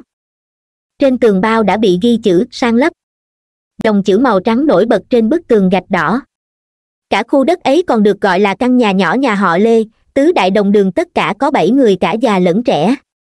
Tứ đại đồng đường, bốn đời sống cùng dưới một mái nhà bác lê sáng nào cũng dậy đi chợ mua rau, gánh nước, trên nóc nhà còn cắm cờ tổ quốc, thậm chí bác còn chuẩn bị cả xăng dầu, định trường kỳ chống đối việc sang lấp. Đoạn nói chuyện của bác lê và người bán rau có thể cho thấy rõ một số vấn đề. Người bán rau dục giả, bác trả tiền nhanh nhanh lên cho em cái. Một lúc nữa mà mấy ông quản lý trật tự đến thì cả cái xe rau này cũng không còn đâu. Bác lê trả lời, cậu tưởng tôi không muốn nhanh hả? Tôi mà về chậm một phút có khi đến nhà còn bị dở mất ấy chứ tưởng à. Sáng sớm hôm đó, bác lê cùng vợ ra ngoài, bác trai đi mua rau còn bác gái đi đổ bô ở khu nhà vệ sinh công cộng gần đó. Người phát hiện ra cái xác là bác gái. Bác lê gái năm nay bốn mươi, là người to béo phốt pháp, hồi trẻ từng làm bốc phát xi măng trong ga tàu, sức vóc chẳng kém gì cánh đàn ông. Theo những ghi chép trong bản điều tra, sau khi nhìn thấy hình ảnh đáng sợ trong nhà vệ sinh, vì là phụ nữ nên vẫn có phần kinh sợ bác gái hét lên một tiếng thất thanh, rồi quẳng luôn cả bô ở đó, quay đầu chạy thẳng về nhà. Ngôi nhà của gia đình họ lê đang trong thời gian thi công, rất nhiều hộ khi đứng trước nguy cơ giải phóng mặt bằng đều cố gắng gấp rút xây nhà mới, để tranh thủ kiếm thêm số tiền đền bù từ việc dỡ bỏ nhà. Có gia đình gần đến khi phải dời đi còn xây chuồng lợn, rồi trồng cây, có nhà bỗng dưng mang sơn lại cổng và cửa sổ một lượt cho mới, tất cả đều chỉ vì mục đích đôi co với nhà chức trách về vấn đề tiền đền bù bác lê gái hốt hoảng chạy về nhà, những công nhân xây nhà vẫn chưa bắt đầu làm việc, vừa nghe nói trong nhà vệ sinh có xác người thì đã hiếu kỳ chạy thẳng đến xem. Sau đó, những người trên phố và mấy cô tập thể dục buổi sáng nghe chuyện cũng thi nhau tới xem. Theo quan sát của phía cảnh sát, số người đến hiện trường đã lên đến khoảng gần một nghìn người, vây kín cả xung quanh. Vụ án cung nhuận bá giết trẻ em cũng từng thu hút nhân dân khắp các nơi xung quanh đến chứng kiến vụ án long trị dân giết bốn tám người ở thiểm tây, rồi vùi tất cả số xác đó tại sân sau nhà mình từng gây chấn động trung quốc. Những người sống xung quanh đó, thậm chí những người vùng khác cũng kéo đến xem. Con người không chỉ có tâm lý sợ hãi, mà còn có cả sự hiếu kỳ trong đó nữa. Trong những vụ án giết người, nhân chứng và những người phát hiện ra thi thể nạn nhân đều là những nghi phạm hàng đầu. Ngoài ra, có điều đau buồn hơn nữa, rằng người thân của nạn nhân cũng sẽ bị cho là nghi can số một phải tăng cường điều tra làm rõ. Giáo sư lương bảo bao triển và họa long đến nhà họ lê điều tra tình hình. Vì vấn đề an toàn, lãnh đạo cục công an sợ rằng hộ cứng đầu này sẽ có những hành động bạo lực phản kháng, nên đã đích thân dẫn theo một đội cảnh sát địa phương để bảo vệ. Sau khi xe cảnh sát tới nơi, cả nhà họ lê cho rằng họ đến dở nhà, liền lập tức đóng chặt cổng, cả gia đình kéo lên nóc nhà đứng dàn trận. Những người thợ xây đều dừng công việc đứng ngoài nhìn hai bên, đấu đá trên tay bác lê gái cầm hai cục gạch lớn dáng đứng uy phong, bác lê trai ôm một bình ga, trong tay còn cầm theo một bình mồi lửa tự chế, gào lên với đội cảnh sát, ngôi nhà của gia đình tao mà bị dỡ đi, thì chỉ một mồi lửa thôi cả lũ chúng mày cũng phải bay theo tao hết. Lãnh đạo cục công an lui lại đến sau vạch an toàn, dùng loa nói, bỏ vũ khí xuống, chúng tôi không phải đến để cưỡng chế dỡ nhà. Một cảnh sát nói, ông mau xuống đây, có gì thì nói chuyện tử tế chúng tôi sẽ không dùng bạo lực. Bác lê trai nhổ bọc xuống sân, quát, bọn mày định lừa tao hả? Sự việc vẫn rất căng thẳng, phía cảnh sát địa phương vốn định đưa hai bác lê về điều tra. Ý của lãnh đạo cục cảnh sát là muốn bắt gia đình này lại, kiểm tra dna từng người một, vụ án này không thể loại trừ khả năng gia đình này vì muốn trả thù xã hội mà xuống tay sát hại người phụ nữ kia. Bao triển vốn rất phản cảm với lối hành sự bạo lực này, nên sau một hồi thương lượng phía cảnh sát đã rút lui khỏi hiện trường, chỉ còn lại họa long và bao triển. Trước tiên họ phân tích cho hai bác lê về những mặt lợi và hại, bao triển cũng bày tỏ sự xin lỗi vì đã đưa cả đội cảnh sát đến khiến cả gia đình hoảng sợ. Hai bác lê cũng đồng ý nhượng bộ, phối hợp cùng phía cảnh sát tiến hành điều tra. Họ xuống đến tầng một, đứng phía sau tấm mành cửa nói chuyện với họa long và bao triển. Bao triển, ngày nào bác cũng ra nhà vệ sinh công cộng đó để đổ bô sao? Bác gái trong nhà vốn dĩ có nhà vệ sinh đàng hoàng. Nhưng bây giờ xây nhà mới, nhà vệ sinh cũ phải đập đi, nên mới phải chạy ra đấy, cũng chẳng sung sướng gì cả. Bao triển, mấy người công nhân xây dựng này bình thường mấy giờ đến nhà bác thi công? Bác trai, tám giờ sáng, chúng tôi bao ăn trưa, thịt lợn rau cải nấu miếng sợi. Họ còn làm thêm giờ nữa vì muốn hoàn thành ngôi nhà sớm để còn đi làm công trình khác mà. Bao triển, những người công nhân này bác tìm thấy ở đâu thế? Bác gái, trước đây có một tên cò xây dựng ở khu ga tàu tìm giúp. Bao triển, nhà bác có quan hệ gì với người đó không? Bác gái, quan hệ gì là sao? Chúng tôi quen nhau vì cùng nhau bốc vác xi măng, làm cùng nhau thì quen thôi. Bao triển, bô nhà bác ở đâu? Chúng cháu cần phải kiểm chứng. Bác trai, được, không vấn đề gì. Bao triển, đêm ngày ba tháng mười mọi người có nghe thấy tiếng gõ cửa hay tiếng cầu cứu nào không? Bác gái, không. Có nghe thấy gì đâu. Bao triển lấy ra một chiếc tăm bông, muốn lấy mẫu dna của họ, nhưng hai bác lê đã từ chối ngay lập tức. Họa long nhắc nhở họ rằng, nếu không phối hợp trong quá trình điều tra, phía cảnh sát sẽ mãi mãi hoài nghi họ chính là hung thủ, và sẽ bị cưỡng chế lấy mẫu xét nghiệm một lần nữa, khi đó hai vợ chồng mới đồng ý. Khi chuẩn bị ra về, bao triển bỗng nhớ ra một việc, bèn lấy giấy bút ra rồi bảo cả gia đình họ từng người một viết ra bảy chữ, chính là bảy chữ từng viết trên thi thể của nạn nhân kia. Rất nhiều người dân không chữ, bác gái cũng chỉ biết một số chữ cơ bản và hàng ngày thường dùng. Chỉ có bác lê trai có thể viết bảy chữ kia một cách hoàn chỉnh. Trong quá trình viết, bao triển phát hiện ra bác trai thuận tay trái. Mẫu dna lập tức được chuyển đến cơ quan chức trách của tỉnh.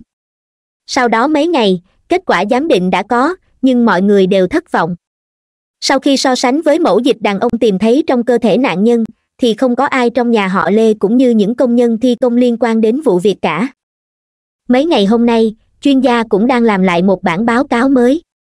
Họ kiểm tra lại xác nạn nhân, hy vọng có thể tìm thấy gì đó còn sót lại, và thấy trên răng nạn nhân có một sợi chỉ màu xanh.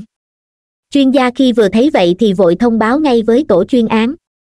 Giáo sư lương nói, loại sợi màu xanh này rất có thể là loại để may quần áo chuyên gia khẳng định ngay, đúng thế đây là một loại sợi trên áo lao động, rất phù hợp với đặc điểm chịu mài mòn. Tommy nói, trong vụ án này những chứng cứ hung thủ để lại không hề ít. Bảy chữ trên xác nạn nhân, chất dịch của đàn ông, cộng thêm sợi chỉ xanh hôm nay vừa phát hiện được nữa, với bằng này manh mối, việc khoanh vùng đối tượng không khó, nhưng vấn đề là hiện giờ chúng ta không có một kẻ tình nghi nào cả. Giáo sư lương lên tiếng, mọi người đừng chỉ chú ý đến những gì hung thủ để lại cũng nên xem xét xem nạn nhân có mất gì không. Họa long, trong túi vẫn còn nguyên tiền, chứng minh nhân dân, chìa khóa, nhưng không thấy điện thoại của nạn nhân đâu. Bao triển nói, nếu hung thủ không lấy mất điện thoại của nạn nhân, rất có thể nó đã rơi ở đâu đó quanh hiện trường vụ án, hoặc có thể đã rơi xuống dưới nhà vệ sinh rồi. Chuyên gia lập tức nói, để tôi đi kiểm tra lại một lần xem, nhưng tôi cần sự giúp đỡ của công nhân vệ sinh môi trường. Giáo sư lương nói chắc nịch dù không tìm được điện thoại của nạn nhân, cũng phải nhờ đến sự trợ giúp của phía công ty truyền thông, nắm được các thông tin sử dụng của nạn nhân trước khi gặp nạn. Tommy bổ sung thêm, ngoài chiếc túi của nạn nhân, tôi còn để ý đến đôi giày của cô ta nữa. Tommy lấy ra bức ảnh chụp hiện trường vụ án, nạn nhân đi một đôi giày cao gót mới, các đường gân của đế giày rất rõ nét, nhưng lớp da giày có vài chỗ đã bị mài mòn. Giáo sư lương hỏi, đôi giày này nói lên điều gì? Bao triển trả lời chứng tỏ nạn nhân từng quỳ và bò dưới đất. Tommy bỗng nhớ ra điều gì, nói, nhà họ lê kia làm tôi nhớ đến một diễn đàn, đó có một nhóm người thích bò dưới đất. Giáo sư lương hỏi, diễn đàn nào? Tommy bật máy tính, gõ vào trang tìm kiếm cụm từ nhà họ lê. Kết quả hiển thị cho thấy đây là một trang diễn đàn đen, với quy mô không hề nhỏ, số lượng người tham gia rất đông, núp bóng dưới cái tên diễn đàn văn hóa á châu tại bắc mỹ tổ chuyên án trước đây cũng từng phá một vụ án liên quan đến vấn đề này. Số lượng người thích bạo dâm là một con số không nhỏ. Tommy còn cho biết, trong trò chơi đó, phân của chủ nhân được gọi là vàng rồng, nước tiểu gọi là nước thánh các nô tỳ coi đó là phần thưởng, là sơn hào hải vị được chủ nhân ban thưởng. Lúc đó, mấy bức ảnh của cô giáo trần lộ trước khi gặp nạn đang được đặt trên bàn. Tổ chuyên án thật khó có thể tưởng tượng được cô lại có thể có liên quan đến thứ biến thái ấy người nữ giáo viên đeo cặp kính cận, mặc bộ váy liền màu xanh da trời đứng trên bục giảng, nụ cười của cô thật nhân từ, toát lên khí chất phi phàm của người trí thức. Trong mắt đồng nghiệp, cô là một người giáo viên hiểu biết, thấu tình đạt lý. Với hàng xóm láng giềng, cô là người phụ nữ đảm đang, hiền thục. Làm sao một con người như thế có thể quỳ dưới đất, chịu sự vùi dập của kẻ tiện nhân kia được chứ? Tommy ngồi trước máy tính, mười ngón tay lướt như bay trên bàn phím màn hình thoát ẩn thoát hiện những cửa sổ rất lạ, tiếng bàn phím vang lên gấp gáp như tiếng mưa rào. Họa long hiếu kỳ chạy lại hỏi, cô đang làm gì thế? Tommy vừa gõ vừa trả lời, cài một trojan asp vào trang web này, để lấy được web shell của trang này. Trojan, một loại phần mềm ác tính, không có chức năng tự sao chép, nhưng có chức năng hủy hoại giống như virus một trong những thứ gian bẫy của trojan là nó tự nhận là giúp cho máy tính chống lại các virus, nhưng thay vì làm vậy nó quay ra đem virus vào máy. Excel là một dạng mã độc, có nhiều chức năng để hỗ trợ các hacker chiếm quyền quản lý các hệ thống website. Họa long vừa cười vừa nói ờ quên mất cô là một hacker đấy nhỉ. Để vào đây được cần bao lâu?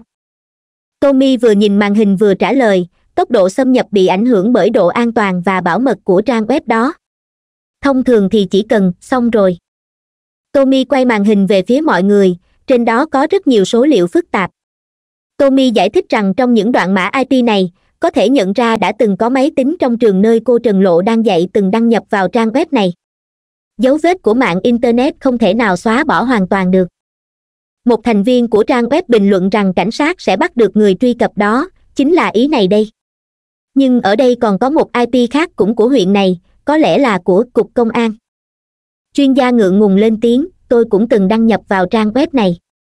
Nhưng mọi người đừng hiểu lầm, tôi vào đó là vì mục đích nghiên cứu thôi. Cùng với việc tìm hiểu được một số vấn đề đời tư của cô giáo trần lộ, tình tiết vụ án cũng dần sáng tỏ hơn. Tổ chuyên án căn cứ vào một số đầu mối tìm được lập tức triển khai công tác điều tra sâu hơn. Tommy lại đến trường học của cô trần lộ một chuyến nữa, thu thập và sắp xếp giáo án của nạn nhân sau khi so sánh kỹ lưỡng, phát hiện ra bảy chữ viết trên người nạn nhân không phải của ai khác, mà chính là do cô tự viết lên người. Để giải thích cho việc vì sao mình để cô trần lộ dạy môn ngữ văn không đúng chuyên môn, hiệu trưởng nhà trường chủ động nói với tommy rằng cô trần lộ có xu hướng sính ngoại. Trong những giờ tiếng anh, cô từng nhiều lần kể cho học sinh của mình nghe về cuộc sống ở hải ngoại tốt đẹp ra sao, sung sướng nhường nào, còn trong nước thì tồi tệ và nghèo đói vô cùng hiệu trưởng lo sợ hành động đó của cô sẽ làm hỏng tâm lý của học sinh, nên mới để cô chuyển sang dạy môn ngữ văn. Vị hiệu trưởng đã sắp về hưu bắt đầu kể cho tommy nghe hết chuyện này đến chuyện khác về cách mạng và về tinh thần giáo dục, nhưng tommy không có tâm trạng để tiếp chuyện. Trong máy tính của nạn nhân không phát hiện được đầu mối có giá trị nào, tommy dùng vài thủ thuật khôi phục lại những nội dung đã bị xóa bỏ, và trong một văn bản quật tên hợp đồng nô lệ, đã tìm ra một đầu mối vô cùng quan trọng trong những ngày nghỉ quốc khánh, nạn nhân không hề đi du lịch, mà đi thực hiện một hợp đồng kỳ lạ. Nội dung trong bản hợp đồng như sau. Hỡi chủ nhân tôn kính. Nô tỳ đã suy nghĩ rất kỹ rồi. Trong những ngày nghỉ lễ quốc khánh, nô tỳ sẽ đến để chịu sự ngược đãi của ngài. Nô tỳ nguyện dân hiến tấm thân và sự tự do của mình cho ngài. Trong bất cứ hoàn cảnh nào cũng không kháng lệnh. Trong những ngày đó, xin ngài hãy dạy bảo nô tỳ nô tỳ sẽ nhận ra ngài dù chỉ là nghe tiếng bước chân, hỡi chủ nhân cao quý. Nô tỳ muốn hét lên cho cả thế giới biết, nô tỳ chính là con cúng con dưới chân ngài, là nô lệ của ngài. Nô tỳ mơ ước được ngài dắt đi giữa vườn violet, nô tỳ sẽ lẻo đẻo bò theo sau, không ngừng kêu gâu gâu để ngài vui lòng. Nô tỳ sẽ tham lam chiếm lấy đôi chân ngài như một con cúng trung thành, sẽ yêu cả tiếng gió trong vườn violet thơm mùi hoa cỏ. Xin ngài hãy cho phép nô tỳ được mơ tưởng ngoài cửa sổ tuyết rơi, trong phòng lò sưởi ấm áp, chủ nhân cao quý ngồi trên sofa, tay cầm roi, còn nô tỳ quỳ phục dưới chân ngài. Hãy rời xa xã hội này, bỏ hết các suy nghĩ của loài người, chỉ còn lại sự vui vẻ và hưởng lạc. Nô tỳ sẽ là kẻ hầu hạ đê hèn nhất của ngài, luôn mong muốn nhận được sự dạy dỗ, cho dù đó có là sự ô nhục và đau đớn đến nhường nào. Chỉ cần được gặp ngài, nô tỳ sẽ biến mình từ một kẻ xinh đẹp và kiêu ngạo, thành thứ tỳ tiện nhất trên đời một con hầu chỉ nghe theo lời ngài mà thôi. Nô tỳ mong ngài được phục dịch ngài ăn cơm, mặc áo giúp ngài châm một điếu thuốc, giúp ngài xả hơi. Hỡi chủ nhân cao quý, nô tỳ biết rằng mình là kẻ vừa bẩn thỉu vừa đê tiện, không xứng đáng hầu hạ ngài, cuộc sống của nô tỳ chính là con cúng quỳ phục bên cạnh ngài. Hỡi chủ nhân, nô tỳ đã mê mệt, đã sùng bái ngài đến mức sẵn sàng thành kẻ gia nô coi sóc nhà cửa, và mọi ngóc ngách nơi ở của ngài, nguyện hầu hạ ngài suốt cuộc đời này kẻ được gọi là chủ nhân trong bản hợp đồng này là kẻ tình nghi hàng đầu. Nhưng trong văn bản đó lại không hề nhắc đến tên và các tư liệu về hắn. Tổ chuyên án triển khai việc điều tra lịch sử ghi chép liên lạc của nạn nhân, còn chuyên gia kia cũng tìm một số công nhân vệ sinh tiến hành xử lý hiện trường vụ án, tìm kiếm điện thoại của trần lộ. Bao triển đang điều tra quá trình sử dụng chứng minh thư nhân dân của nạn nhân và tìm thấy một đầu mối quan trọng. Ngoài những thông tin cơ bản giống như chứng minh thư cũ loại chứng minh thư mới còn có thêm một miếng từ chìm bên trong, và từ đó có thể tra cứu được những thông tin khác về quá trình sử dụng, cũng như việc người sở hữu đã từng phạm tội hay chưa vân vân. Bộ công an có thể tra cứu được quá trình sử dụng chiếc chứng minh nhân dân này. Kể cả những thông tin về việc người đó đã vào quán internet nào lên mạng, hoặc đến khách sạn nào thuê phòng, chỉ cần người sở hữu sử dụng chứng minh nhân dân, cảnh sát sẽ có cách lần tìm ra. Trong thời gian nghỉ quốc khánh trần lộ đã từng sử dụng chứng minh thư tại một khách sạn năm sao khi lên tỉnh. Khi vào khách sạn, cô ta cùng một người đàn ông, là người mỹ, tên tiếng trung là ngũ duy khắc. Điều khiến tổ chuyên án cảm thấy vui mừng là đến giờ ngũ duy khắc vẫn chưa rời khỏi khách sạn, phòng vẫn chưa trả. Giáo sư lương lệnh cho họa long và tommy lập tức lên tỉnh và yêu cầu sự giúp đỡ từ phía công an tỉnh. Trước khi đi, giáo sư lương dặn dò kỹ họa long đối với những vụ án có liên quan đến người nước ngoài phải hết sức cẩn thận, tránh tuyệt đối việc dùng bạo lực hành pháp. Nếu chưa có chứng cứ rõ ràng, nhất định phải tôn trọng quyền biện hộ của đối tượng. Họa long chỉ xuề xòa một câu, bác yên tâm. Cháu không đánh hắn đâu mà sợ. Tommy nói, với trình độ tiếng anh của cháu là đủ để thẩm vấn rồi. Sau khi ra tới tỉnh, dưới sự giúp đỡ của cảnh sát địa phương, cả đội đã khống chế toàn bộ khách sạn họa long gọi bảo vệ khách sạn lại, bảo anh ta lấy cho mình một chiếc kìm cộng lực, định cắt đứt dây xích chống trộm của căn phòng, xông vào bắt giữ ngũ duy khắc. Tommy nói với họa long, để đối phó với người nước ngoài, việc gõ cửa có hiệu quả hơn việc phá cửa xông vào. Tommy đến gõ cửa phòng khách sạn giơ thẻ công tác của mình ra. Ngũ duy khắc là một người da trắng, tóc vàng, mắt xanh, thái độ vô cùng lễ phép, rồi mở cửa mời tommy vào ngũ duy khắc tỏ ra vô cùng kinh ngạc trước thông tin trần lộ bị sát hại, và nói sẽ phối hợp cùng cảnh sát để điều tra sự việc. Tommy hỏi ngũ duy khắc có cần tìm luật sư không? Nhưng anh ta rất bình tĩnh, nói không cần. Căn phòng này là một phòng hạng sang, các trang thiết bị bên trong đều là hàng cao cấp. Trên nền nhà có trải một lớp thảm, có phòng khách, phòng đọc sách, phòng ngủ và phòng tắm, còn có cả ban công thoáng mát. Trên bàn vẫn còn một số đồ chơi người lớn họa long và tommy đi kiểm tra khắp căn phòng. Đây có lẽ chính là nơi trần lộ đã đến hưởng lạc. Ngũ duy khắc nói tiếng trung rất giỏi. Quá trình thẩm vấn thực ra giống với một cuộc nói chuyện hơn. Ông ta cho biết mình từng học tại trung quốc và hiện là quản lý cao cấp tại một doanh nghiệp nước ngoài. Bối cảnh gia đình rất đơn giản. Cha mẹ đều đã qua đời. Còn có một em trai cùng làm việc với nhau ở một công ty. Ngũ duy khắc cho biết mình quen trần lộ trên web. Từng có một khoảng thời gian tiếp xúc với nhau qua mạng trong mấy ngày nghỉ quốc khánh, họ hẹn nhau đến đây gặp mặt. Tommy hỏi cặn kẽ cả quá trình, ngũ duy khắc lấy ra một chiếc máy ảnh kỹ thuật số, trong đó có một số bức ảnh chụp liên tục. Trần lộ mặc một bộ áo dài thượng hải, dáng đi thước tha tiến lại chào người trước mặt theo kiểu cũ. Một tấm khăn lụa trắng quàng trên vai từ từ trượt xuống theo bước chân của trần lộ. Đoạn phía sau là một số bức ảnh khá thân mật của hai người. Họa long chỉ vào một bức ảnh, hỏi bộ áo dài thượng hải đó là của ai? Ngũ duy khắc trả lời, là của tôi mua, tôi rất thích văn hóa trung quốc. Họa long lại hỏi tiếp, chiếc áo đó bây giờ ở đâu? Ngũ duy khắc chỉ vào tủ quần áo, trong đó bỗng vọng ra tiếng kêu rất lạ. Họa long tiến lại, mở cánh cửa tủ ra, rồi giật mình nhìn thấy một người phụ nữ mặc áo dài thượng hải đang bị trói trong đó. Họa long vội rút súng tommy chạy lại cởi trói, ngũ duy khắc giơ hai tay xua xua nói rằng đây cũng chỉ là một người đến tìm ông với mục đích giống như trần lộ mà thôi. Tất cả mọi hành động trong quá trình này đều là do hai bên tự nguyện. Tommy đưa người phụ nữ sang một phòng khác thẩm vấn và chứng thực những lời ngũ duy khắc nói là hoàn toàn đúng. Kết quả buổi thẩm vấn khiến mọi người đều vô cùng thất vọng. Ngũ duy khắc thừa nhận việc có quan hệ với trần lộ và mẫu phân tìm thấy trong dạ dày nạn nhân chính là của anh ta. Nhưng trong buổi sớm ngày ba tháng mười, anh ta ngồi xem bóng đá ở quán cà phê của khách sạn, các nhân viên ở đó có thể làm chứng. Khi trần lộ bị hại, anh ta không hề có mặt tại hiện trường. Kẻ tình nghi duy nhất có bằng chứng ngoại phạm rất rõ ràng. Thông tin được thông báo ngay cho giáo sư lương. Giáo sư và bao triển đều vô cùng bất ngờ. Trong điện thoại giáo sư lương bảo tommy phải thẩm vấn ngũ duy khắc một cách rõ ràng và chi tiết. Trần lộ rời khỏi khách sạn khi nào?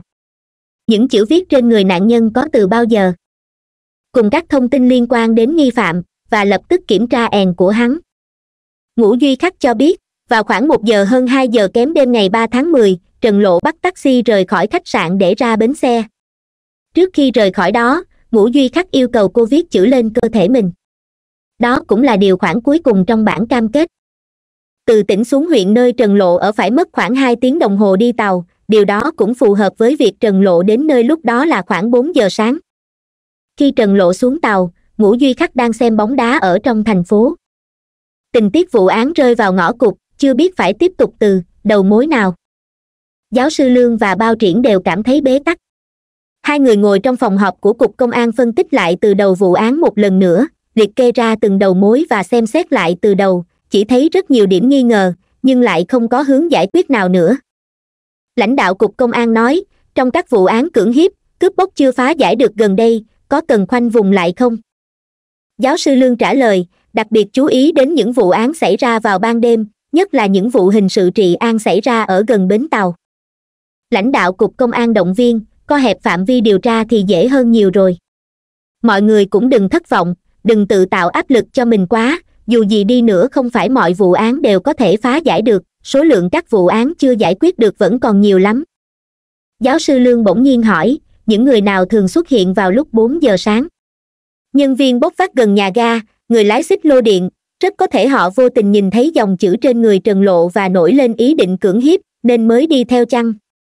Bao triển nói, không những cần chú ý đến bến tàu một nơi quan trọng nữa của vụ án là khu nhà vệ sinh công cộng, những ai là người có khả năng sẽ đi vệ sinh vào lúc bốn giờ sáng đây lãnh đạo cục công an trả lời, nửa đêm ngủ dậy đi vệ sinh, lại là nhà vệ sinh nữ, thì tất nhiên là một người nữ giới rồi. Giáo sư lương hỏi, thế còn đàn ông? Đàn ông như thế nào thì có thể chui vào nhà vệ sinh nữ lúc nửa đêm như thế? Chuyên gia bỗng nhiên đẩy cửa bước vào, mặt vui mừng thông báo, tìm thấy chiếc điện thoại rồi. Bao triển nhìn chuyên gia rồi nói, tôi biết hung thủ là ai rồi. Mỗi người chúng ta rồi đều sẽ phải đến những nơi xa lạ bước trên những con đường xa lạ, gặp những người xa lạ, đó là một phần không thể thiếu của cuộc đời. Trần lộ thích mặc những chiếc váy chữ a đi đi lại lại trong lớp học, vừa đi vừa đọc sách. Cô có một số thói quen nhỏ như đặt một miếng lau bản màu đen trên bàn, bên cạnh là một cốc cà phê cuộn khói. Cô cúi người để mái tóc chảy xuống hai vai, vừa nhìn ra phía ngoài cửa sổ vừa uống cà phê. Cô biết rằng một số học sinh mới lớn sẽ lén nhìn mình nhưng đầu cô đang chìm trong cơn tưởng tượng sẽ đi gặp người đàn ông ngoại quốc, cảm giác ấy làm cô thấy đê mê và vui sướng. Một ngày, trần lộ lấy hết can đảm tìm đến gặp anh ta. Trong giây phút gặp mặt, tim cô đập rộn ràng. Sau những hồi hộp pha lẫn lo lắng, trong lòng cô lại rạo rực một niềm khát khao.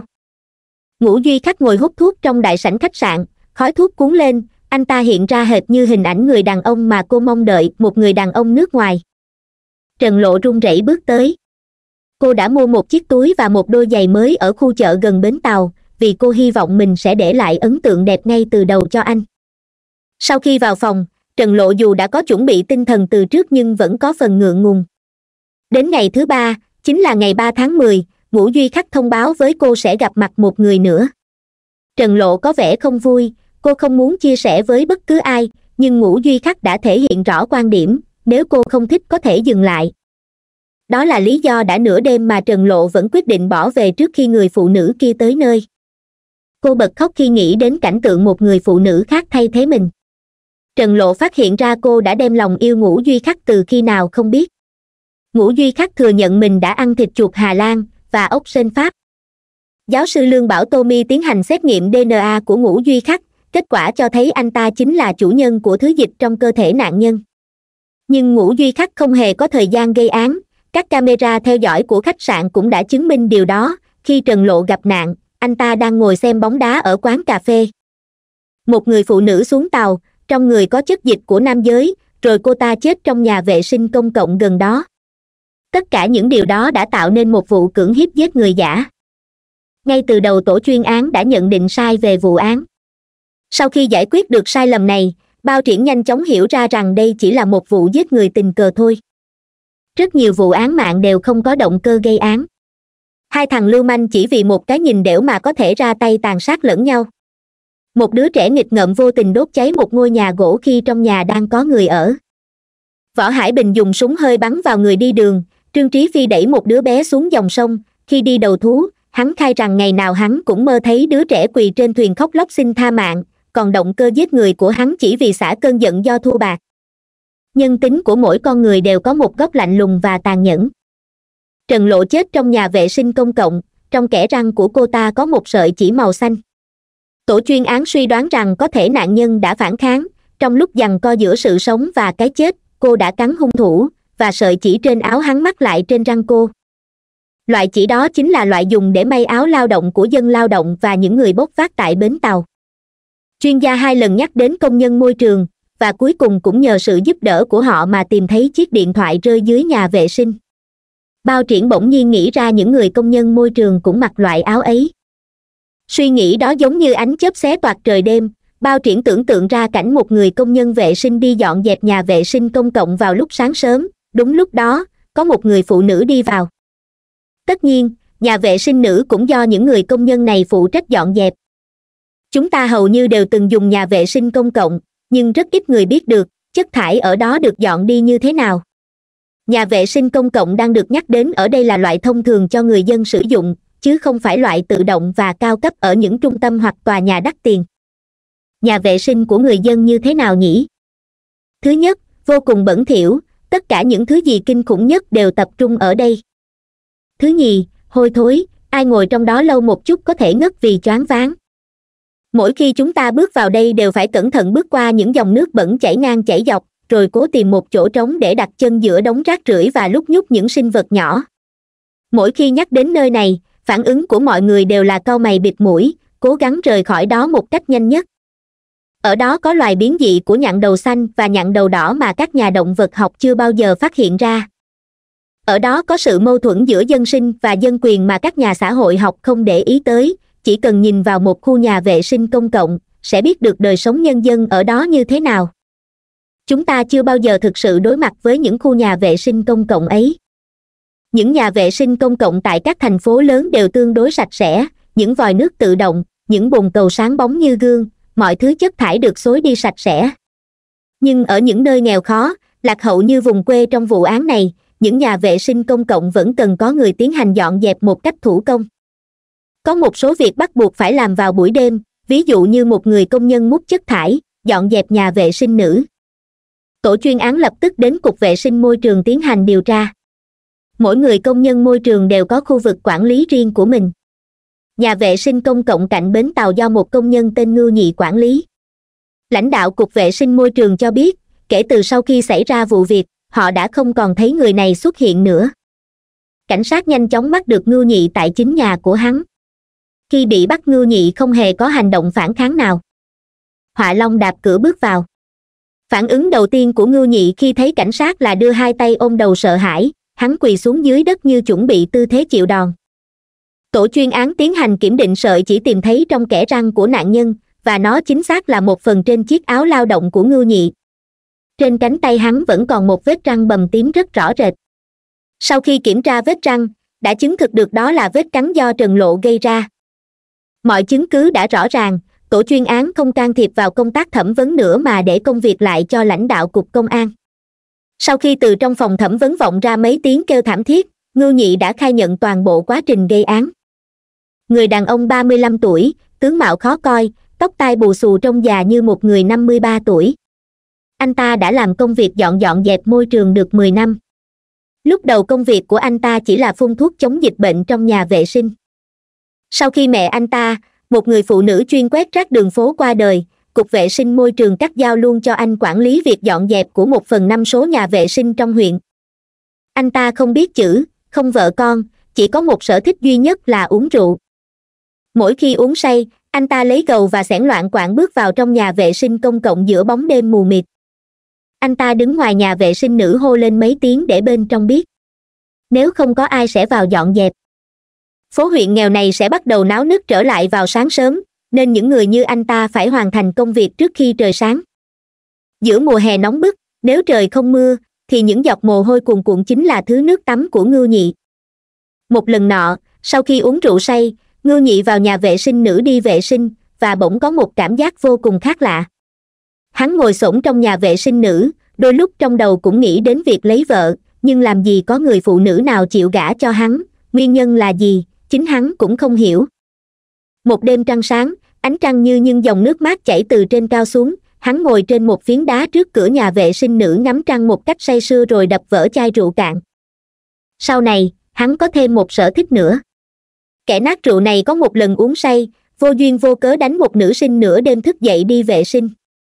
Và từ đó, giả tính trong lòng hắn cứ lớn dần lên.